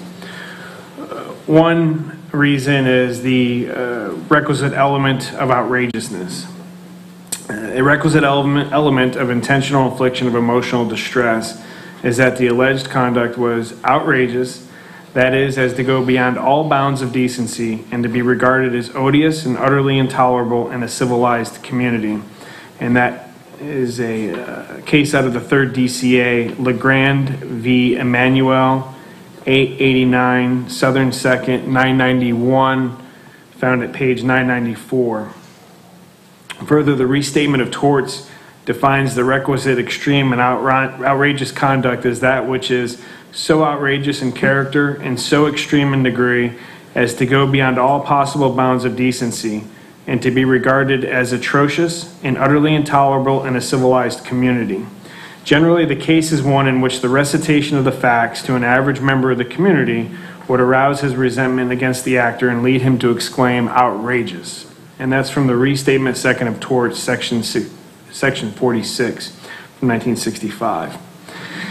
It is not enough that the intent is tortious or criminal. It is not enough that the defendant intended to inflict emotional distress. And it is not enough if the conduct was characterized by malice or aggravation, which would entitle the plaintiff to punitive damages for another tort. And that's a direct quote from a fifth DCA case, State Farm Mutual Auto Incorporated Company, v. Novotny, 657 Southern Second, 1210, found at pages 1212 through 13. In applying that standard, it is manifest that the subjective response of the person who is the target of the actor's conduct is not to control the question of whether the tort occurred.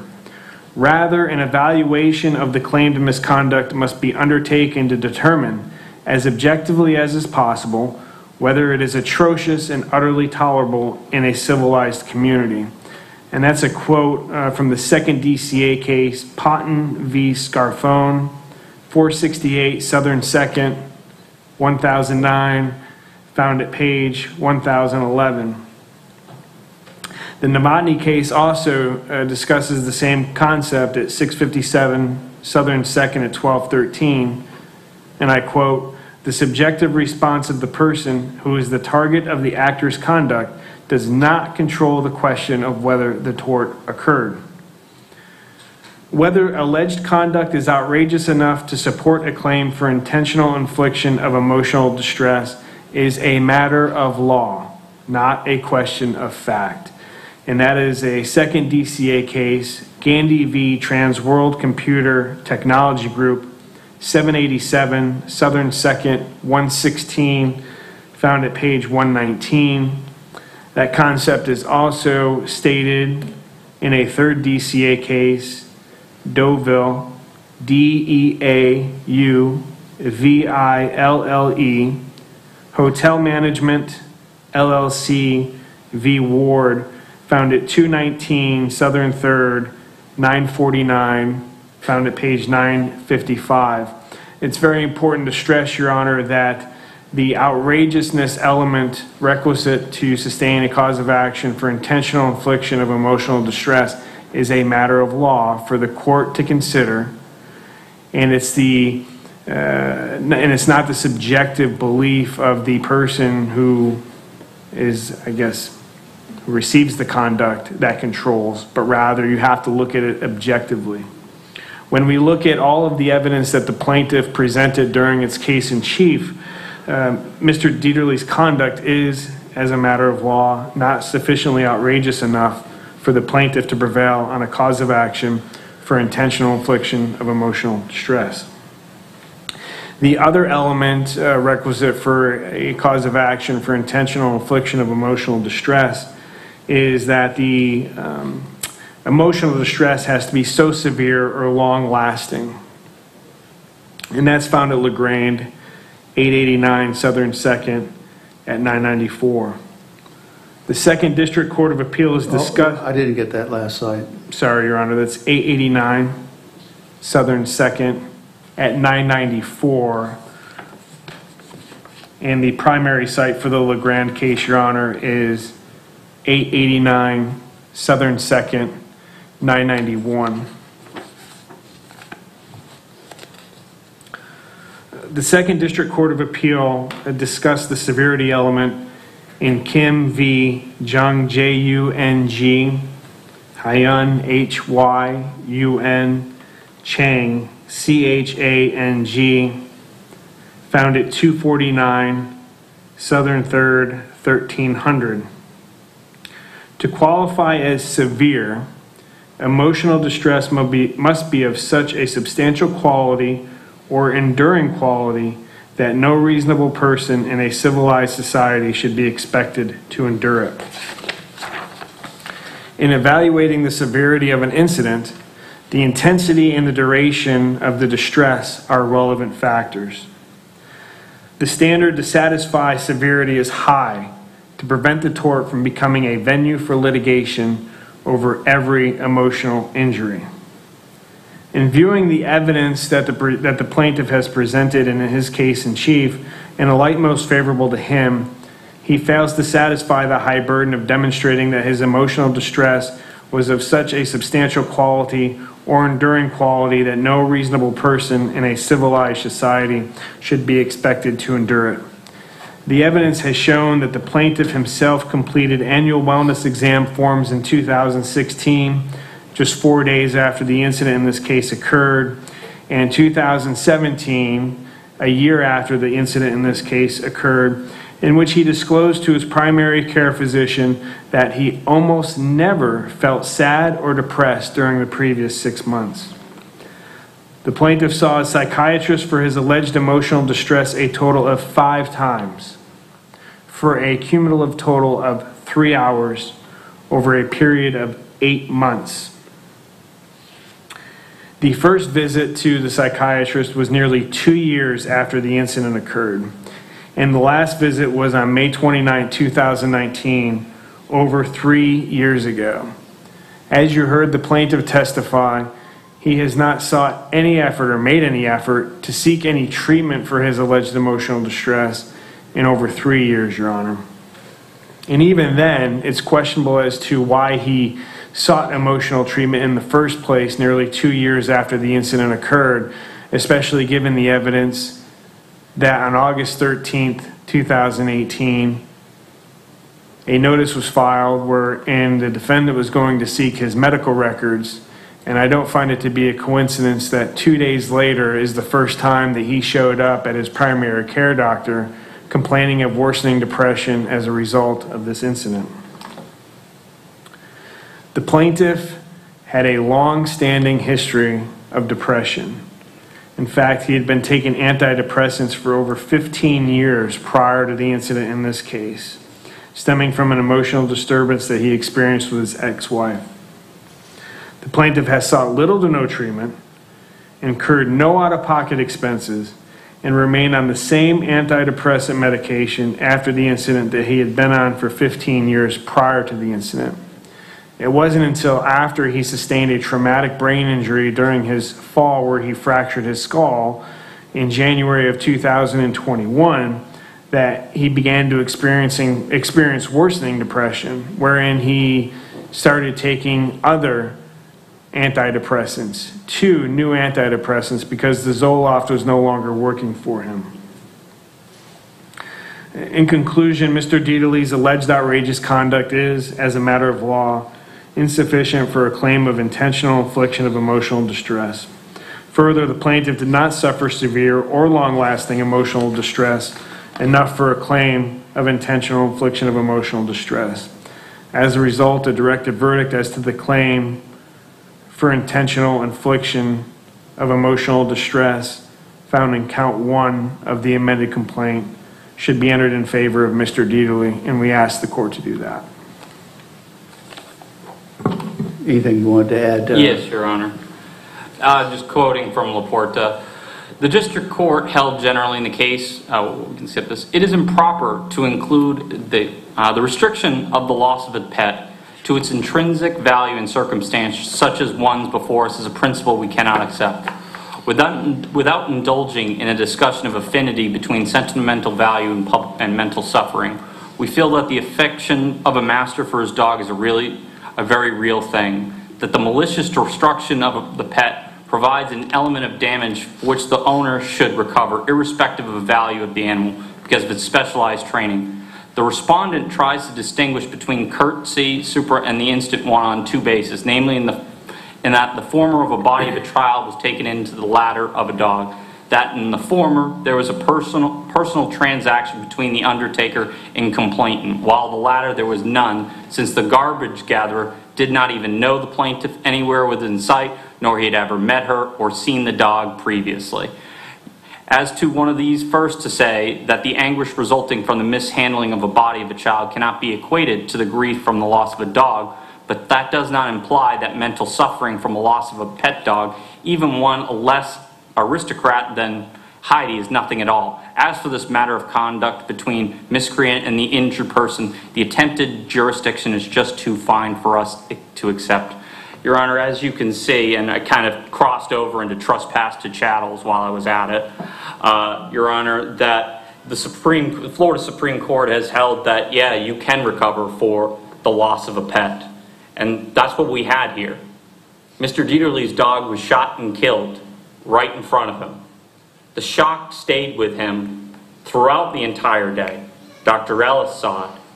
Dr. Morris saw it. And he himself, and even the defendant, saw it. And that stayed with him for years on end. We talk about how there's not a coincidence between uh, sending a non-party request on 813 and then going to the doctor's 815. I wouldn't be able to put those days together and remember that if not for the fact August 13th is in fact my birthday. But to me, Your Honor, this notion that he didn't actually suffer emotional distress is just not, not what the facts have told us. It's not what Dr. Edlin told us. It's not what Cindy Watson told us. And it's not what Rod Jacobson told us. Thank you, Your Honor. Next count. Uh, Next count, Your Honor, will be count two for negligence, and I'll handle this uh, as a whole, Your Honor, beginning with the underlying action uh, for negligence. In his amended complaint, the plaintiff seeks to recover damages for emotional pain and suffering as a result of Mr. Deaterly's alleged negligence.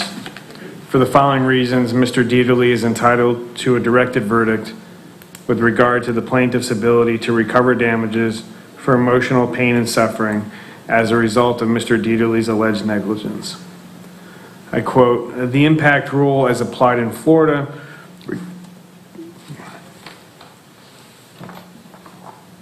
Oh, I'm sorry.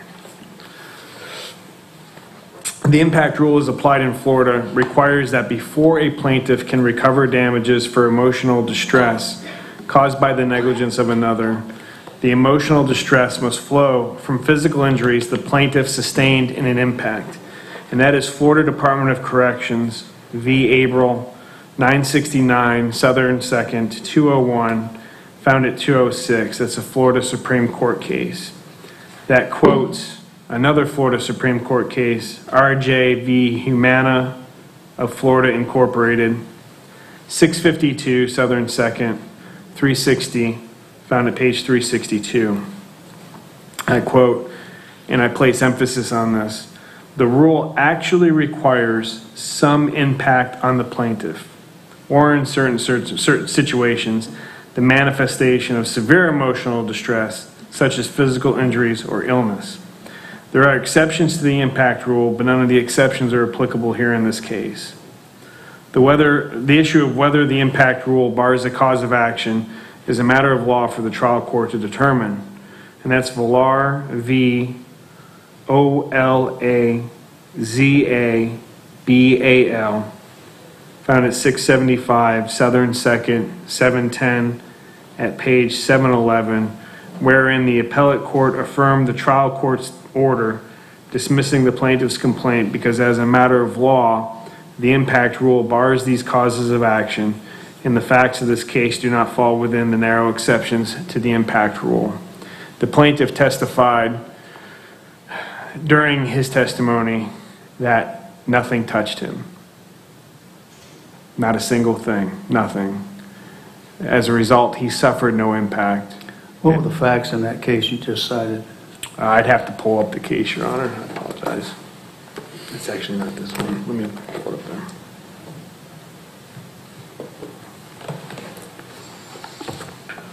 Would you like the procedural history, Your Honor? No, I just want to know what, what the factual issue was that uh, was alleged to be an exception to the impact rule.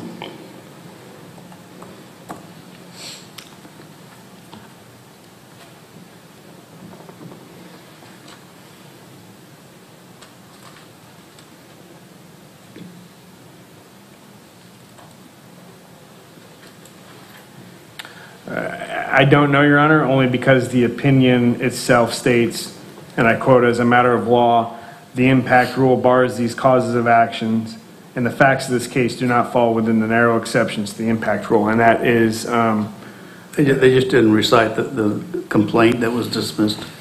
correct. I mean, the entire opinion is just two sentences long. That's fine.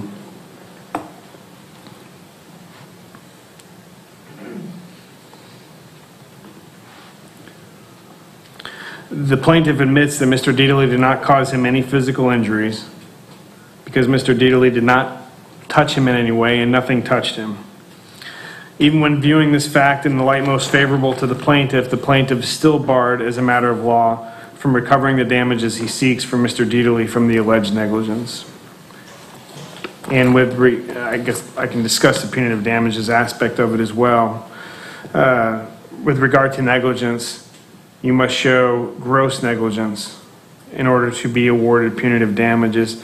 Under the statute, the definition of gross negligence is the defendant's conduct was so reckless or wanting in care that it constituted a conscious disregard or indifference to the life, safety, or rights of persons exposed to such conduct. Uh, That is obviously subject to the clear and convincing standard, and given the testimony and the evidence that's been presented from the sheriff's office who conducted an investigation into this matter and found that Mr. Deaterly's actions were justified and conducted lawfully, I do not see how the plaintiff can uh, meet that very high, clear and convincing standard with regard to showing gross negligence for count two, Your Honor.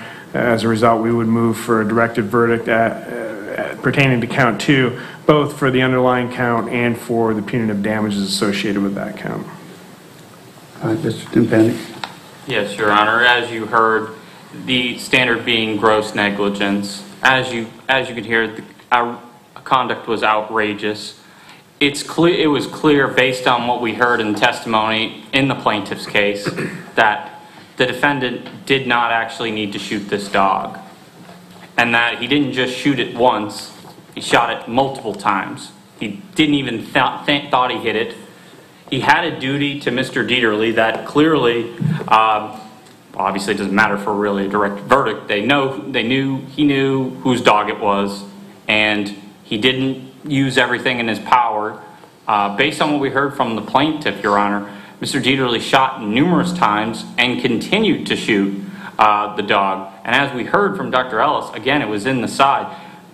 The, the act of shooting a firearm and discharging it in the presence of another individual is in and itself gross and outrageous conduct. And not just one shot while was lunging, which wasn't the case clearly, considering where the bullet that actually killed Candy the dog was actually located, according to Dr. Ellis, but it was numerous shots. And the defendants, and another thing, as to the Sarasota Sheriff's Office, that standard which they use to uh, charge individuals, they have to decide whether or not they can prove a case beyond a reasonable doubt. Because if you charge someone and you can't prove it, you're, if you can't prove the elements beyond a reasonable doubt, the individual is not going to be convicted. To be able to charge, and this is obviously from criminal law, all you need is pro- a probable cause, a good faith basis that you can prove the charge. However, part of what it is is you have to be able to know that you can prove it beyond a reasonable doubt. Because if you charge it and you can't meet the standard, it's not even going to get past a, it's not going to get to a jury to be able to find him guilty or not. So this notion that, oh, the sheriff's, like the sheriff's office didn't find, they didn't charge him, all right, that's, that's perfectly fair in fact, but they're going on a different standard than we are. This is clear and convincing evidence is a much lower standard significantly than beyond a reasonable doubt. We're not applying a criminal standard. This is a civil case. And, Your Honor, the actions by the defendant, as obviously uh, everything that happened in the defendant's case is not relevant for directed verdict, but everything that we heard from Mr. Jacobson, the defendant's conduct was outrageous and extremely reckless, extreme disregard for human right, life, and life of property, which is in fact was Candy the dog. Let me ask this question, uh, Mr. Timpanic, on, on the punitive damages part of it. Uh, we covered this, I think, in pretrial, but if we were to go ahead with punitive damages, I don't recall the defendant having a positive net worth. And Your Honor, as I stated in Brooks v. Rios, that's, I'll, I'll read it off to you because this is the controlling standard. Which citation is that? Brooks v. Rios, 707, Southern 2nd, 374. Hold on. And I'll and I will read this off, and it has some string cites, so we can take a look at those. A defendant against punitive against whom punitive damages are sought, however, must present evidence as to his or her net worth at trial to preclude a jury from assessing an unduly harsh penalty as to preserve his his or her right to argue the excessiveness of the punitive damage award on appeal. And that's, we're going to see Bould 349 Southern, 2nd, 1187. Turner v. Fitzsimmons, 673. Southern, 2nd, 532, page 536. Florida 1st, DCA. Reddy v. Green, 546. Southern, 2nd, 410, 421. Southern Community Court versus Reddy, 553. Southern 2nd, 1166. Florida, 1989. Albritton, 531, Southern 2nd at 339. We, we, we don't need the string citations. And as Your Honor, it just goes on and on. Yeah, but uh, my question is, um, let's assume, let's play it forward, let's assume that punitive damages is allowed. What are you going to ask for? Your Honor, that had that, like I said, that determination has not been decided by me, and I haven't spoken. But it's not. I'm not going to be asking for ten million dollars. I'll just tell you that. That's not a reasonable award. But, um, Your Honor, and, and, and this is additionally, Your Honor, this is from the, the case, and this is important. In the apps, and this might actually end up having um, Mr. Deaterly potentially re retake the stand. In the absence of sufficient evidence as to the defendant's net worth, an appellate court cannot say that award is excessive, and that's bold. So that's a situation where because he took the stand and there was no no, no speak. Uh, obviously, that's that'll be later on because this we're kind of talking about a directed verdict. We're also talking about punitive damages. That was just as a note. Well, I, I know. I'm just I'm just saying that um, we don't want to be in a situation where we ask the jury to make a finding on punitive damages if there's no evidentiary basis for an award. Yes, Your Honor. And I, I was asking, and, and again, you've done discovery, and my understanding was reported back that there, he, he doesn't have a net worth that could sustain any punitive damages. I don't know. Uh, Mr. Kessler, refresh me on what the evidence was on the discovery. Uh, The evidence was is that the only asset that he has is the constitutionally protected homestead. Uh, All the other assets were leveraged, and the client had a ne- negative net worth uh, other than the house. Well, is, do you have any other evidence of his net worth other than what Mr. Kessler has outlined? No, Your Honor, but that, like I said, right now, as it stands, based on this case law, that doesn't actually matter. That's for him to prove. So for, as we talk about punitive damages right now, that's, we're not in a, we're not in a position to actually have to prove anything for him. But what we'd be asking for, and Your as you can understand, Your Honor, uh, if we, the jury were to award punitive damages, and you, Your Honor, made a finding as to what you- we've discussed, that's obviously a potential appellate issue, but for our sake, it's, we're not in a position to be choosing, it's like, okay, well, uh, we know that he has a negative net worth from discovery. The jury doesn't know that, and an appellate court wouldn't either. Well, you know that. I, I, I know that, Your Honor, but I'm not the fact finder. I'm not the one who determines what a punitive damage award would be. I know that, but there has to be a fa- uh, evidentiary basis. Um, I I put it like this, there has to be a uh, sum against which I can measure whether it's excessive or not. And if that is zero, how can we go through that exercise? Your Honor, are you, I'm trying to figure out, are you asking me to give an actual number, what I'm going to ask for? Well, whatever you ask for, if, if, if all he has is a homestead and everything else is negative, then you could ask for a thousand dollars and it, there's no evidentiary basis for him to pay even that. Well, Your Honor, as it stands right now, that wouldn't be the case on appeal because any award that you would, say you, uh, right now, you set it aside, Your Honor, uh, after the case, uh, based on what we've already heard, it wouldn't, it wouldn't allow, appellate scrutiny wouldn't allow for that to stand. Well, the appellate court would say, what was his net worth and whether the jury awarded something in excess of uh, what he could pay, and there would be zero. And Your Honor, like I said, uh, that's for a jury to decide. If you, like I said, if you, the court does not find that his actions do not, uh, the case law, whatever, uh, dealing with punitive damages, that's for you to decide, but we're not at that point, Your Honor. No, Let let me put it this way. Let's, let's just assume this is the most egregious act, most outrageous act that could ever happen. But he has a negative net worth. How can punitive damages be confirmed against him? Your Honor, that would, like you said, that would be something the fact finder would decide, and you, Your Honor, as the gatekeeper, would decide whether or not it was warranted. Well, I'm just puzzled over the process here because typically, when we have a punitive damages case, we have a responsive defendant that presumably has pockets deep enough to sustain a claim for punitive damages. This is the first case I've had where the claim has been made against some, someone who uh, parties have indicated basically only has a homestead, which is protected by the Constitution.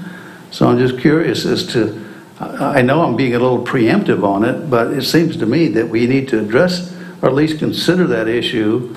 Um, You know, maybe it is premature, but uh, I don't see a great value in instructing a jury, even if you're able to sustain your other arguments on punitive damages, uh, how that's um, consistent with logic. Um, Anyway, I, that's, I, I'm not making a decision on it, it just strikes me that way, and anyway, I'll get back to, uh, okay, I've heard your argument on the negligence. Did you have anything you want to add on the, on the net worth issue? uh?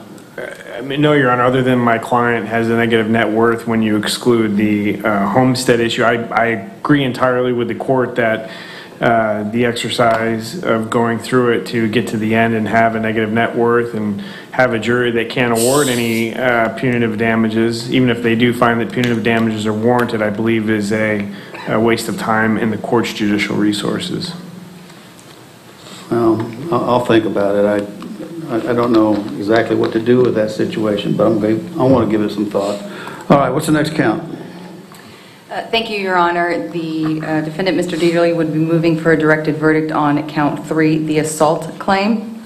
Your Honor has the memorandum of law that was filed pretrial along with the case law in there. And under the second DCA case of McDonald v. Ford, citation 223 Southern 2nd, 553, an assault is defined as an intentional, unlawful offer of corporal injury to another by force or force unlawfully directed toward the person of another under such circumstances as to create a fear of imminent peril, coupled with the apparent present ability to effectuate the attempt. Taking the evidence most favorable to the plaintiff under the plaintiff's case in chief, there is absolutely no evidence that plaintiff has met the intent element to prove assault.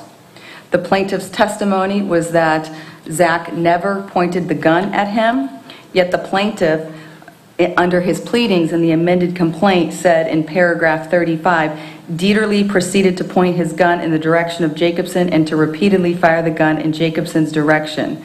And although the bullets discharged by Deaterly's gun did not strike Jacobson, they nearly struck Jacobson and they did not strike the motor vehicle and his dog. The plaintiff's testimony was that the gun was never pointed at him. Plaintiff said that he was never threatened by Zach, and in fact, that they were standing next to each other and aligned. And he testified that he did not know that he had a gun until it was fired. And the plaintiff has presented no evidence that Zach intended to put him, to harm him, or that he intended to make him in apprehension of harm. And as Mr. Kessler indicated on the negligence claim, nothing ever touched the plaintiff, and that was his testimony. And so even though he's alleged in paragraph 36 that he intended, that Zach intended to put him in fear, there's zero evidence of that. In paragraph 37 says that Zach willfully and maliciously aimed and discharged the gun at Jacobson, which here in court, that is the exact opposite of what happened. And so based upon the allegations in the amended complaint, he cannot meet those elements. We've also provided the court with the um, Spivey v. Battaglia decision, 258 Southern 2nd, 815, that's a Florida Supreme Court. And the standard is an ordinary reasonable person, whether that person would have felt that a certain result uh, was certain to follow. And it says simply having a knowledge and appreciation of a risk does not mean a result is substantially certain to follow. To satisfy the intent element, the plaintiff must prove that the defendant did an act that was substantially certain to put the plaintiff in fear of imminent violence, not that the defendant had the intent to do violence. And so the fact that plaintiff's own testimony, one, refutes what he alleged in the lawsuit, but also that Zach never threatened him. Zach never pointed the gun at him, and certainly Zach never shot the gun at him. He cannot meet the uh, elements to prove uh, the cause of action for assault. And we've also provided the Watley v. Florida Power and Light Company case, also in the memorandum of law, 192 Southern 2nd 27, which says mere assertions of a phenomenon that is physically impossible do not give rise to a cause of action.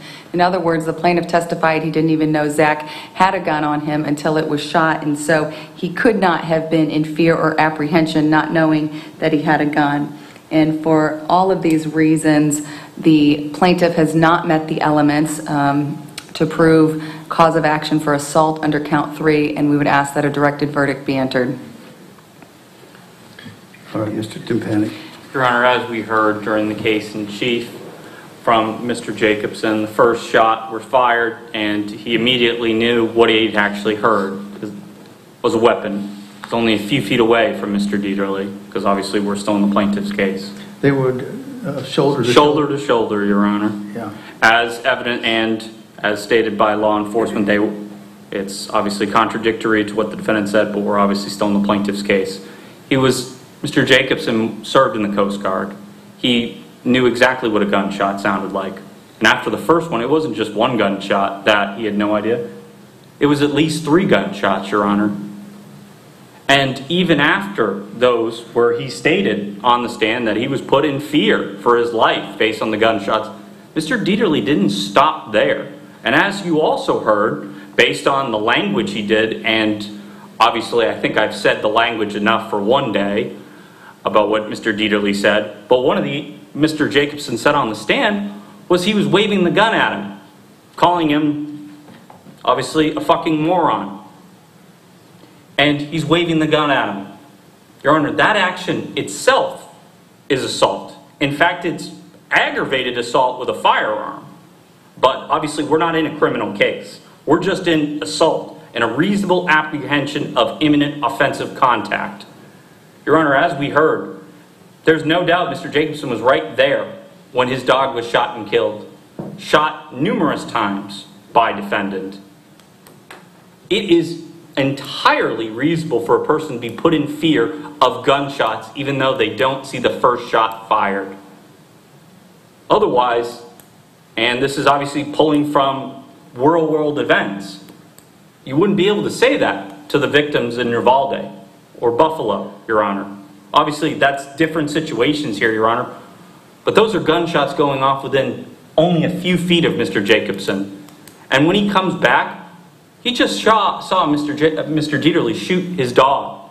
He had absolutely a reasonable fear that he could be next based on how the defendant was handling his firearm, the words he was saying, the reaction when he said, Did you shoot my dog? You're damn right I did, and I'd do it again. That's undisputed. Mr. Jacobson said that. Mr. Deaterly said that from the stand. His own deposition, he said that. That is undisputed based on that language, based on the presence of a firearm, the multiple shots, and the profanity used by defendant. Mr. Dieter, Mr. Jacobson is absolutely justified in believing a reasonable fear of imminent offensive contact. And we'd be asking you to deny their motion for directed verdict as to the assault count. Your Honor, I think it's entirely inappropriate to reference a national tragedy. It has nothing to do with this case, Yeah. and other than the fact that there's a camera behind us. Well, Go ahead and, refer- and uh, Briefly, a- as to the merits, Your Honor, I've provided the Watley v. Florida Power and Light Company decision that I referenced before. Behavior, they specifically state, um, and also in the Sullivan case, behavior that does not include a threat to do harm is not considered imminent. There was, there's no evidence of an imminent harm because the plaintiff testified Zach never threatened him and he never pointed the gun at him, and because of that, he cannot prove assault. counsel is asserting that uh, the testimony was that uh, Mr. Deaterly was waving the gun at the plaintiff. Do you recall that testimony? I don't know that he said he was waving the gun at plaintiff. I think he said he might have waved the gun, but his testimony was he never pointed the gun at him, so I don't know how he could be waving it at him if the testimony is he never pointed it at him. Uh, the- I, I I can't instantly, but I can pull up the transcript of what exactly was said. Do you have dailies? I do have, can we search it on there? Sure. Well, I'm just asking, it would help me to have that. We do have uh, Mr. Jacobson's testimony that we can provide the court. Well, um, if you want to copy that, um, do you need it also? I mean, I, I- We have the capabilities of getting another copy. okay. Uh, Just show it to Mr. Timpanic, make sure he concurs that's an accurate transcript. I'm sure Richard was on the ball, but wait and see.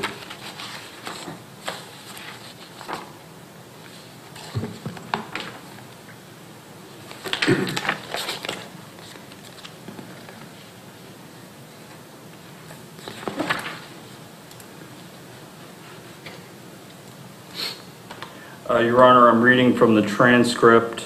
You Uh, don't need, to- I'm just, Oh, yeah, no, page 16, I think that's what you're looking for, uh, roughly halfway down. I think that's what you're looking for. Well, I'm going to, obviously, I'm not going to make a ruling today. I'm going to have to, I, I understandably so, Your Honor. you just put it down there. Thank you. All right, uh, anything else, Ms. Johnson?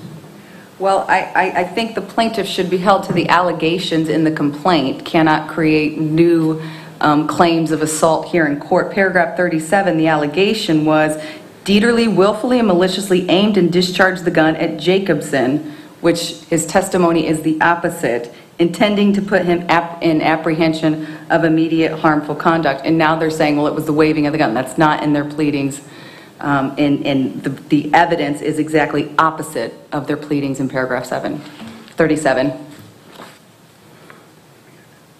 And as to the uh, request for punitives on the assault, I would reiterate the arguments that Mr. Kessler has already made. Okay. How about the trespass? Yes, Your Honor. Uh, Mr. Deaterly moves for a directed verdict on count four, trespass to chattels, that has been renamed trespass to personal property. Your Honor has in the binder that was provided this afternoon at tab five, the Coddington case, and the elements to state a cause of action for trespass to personal property is the intentional use of or interference with a chattel, personal property, which is in the possession of another without justification. And I'm going to break this argument up into uh, two subjects, one being the truck, and then the second being the dog, both um, personal property. As to the truck, the plaintiff's testimony was that he assumed, in his direct testimony, he said he assumed the flat tire was from the gunshot. In cross-examination, he confirmed that he did not know what caused the tire damage. And so the plaintiff has not proven um, that Zach shot the truck or that he um, intentionally interfered with his possession of the truck. And for that reason, uh, he has not stated a, a cause of action, or he has not um, brought forth sufficient evidence to overcome a directed verdict. As to the trespass to personal property relating to the dog, the Coddington case is clear that emotional distress damages are not recoverable in an action for trespass to personal property. And um, at the bottom of the decision, where the injury consists in the wrongful taking of chattels, personal property, from the possession of another, the measure of damages is the value of the goods at the time and place of the wrongful taking and removal.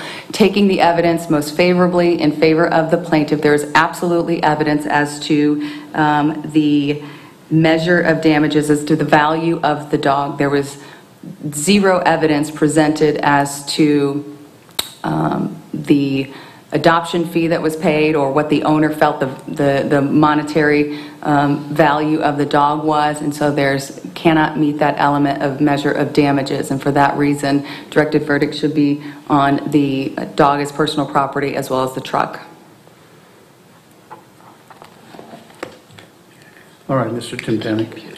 Your Honor, as to the trespass, the chattels, the restrict, as I will, as I stated earlier, the restriction of the loss of a pet to its intrinsic value in circumstances such as loved one brings us with a principle we cannot accept. Without indulging in a discussion of the affinity between sentimental value and mental suffering, we feel that the affection, affection of a master for his dog is a very real thing, and that the malicious destruction of the pet provides an element of damage for which the owner should recover irrespective of the value because of its special tra- because yes, dog. And Your Honor, when looking at this, what we introduced is what was the direct result of defendant's trespass to personal property, being the dog.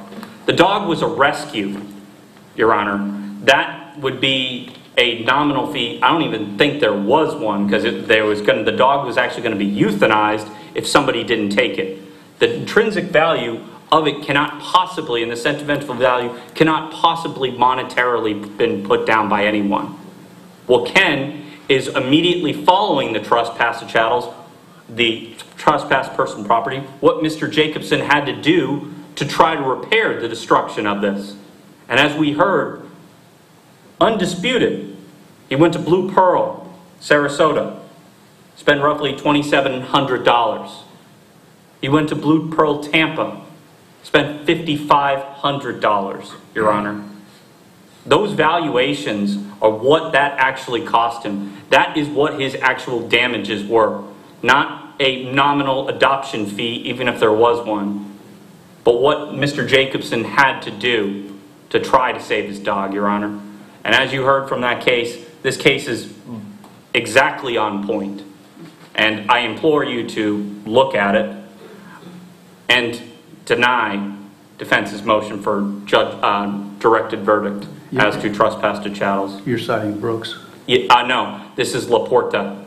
Brooks is the punitive damages. Uh, That 163, 163 Southern Second, 267. okay. Ms. Johnson, are you familiar with Laporte? I am not familiar with that. Laporte, sorry, Your Honor.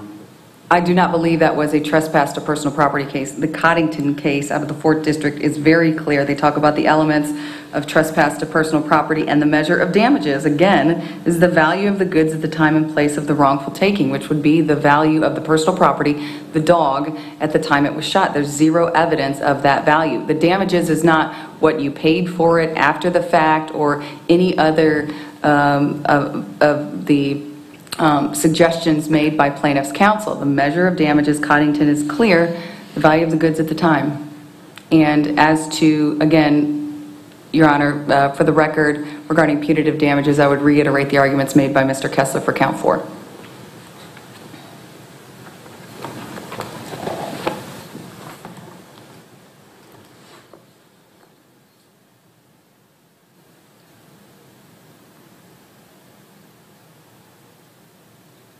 Okay. Anything further? No, Your Honor. Mr. Kessler? Nothing, Your Honor. All right. Well, you've given me 13 or- or more cases to read, so I'll do this over the weekend and study it. Uh, Thank you for your argument, and stay tuned. The rest of the witnesses are live, no no Zoom issues, right? That's correct, Your Honor. Okay. All right, we'll stand recess. All rise. Court's in recess for the weekend.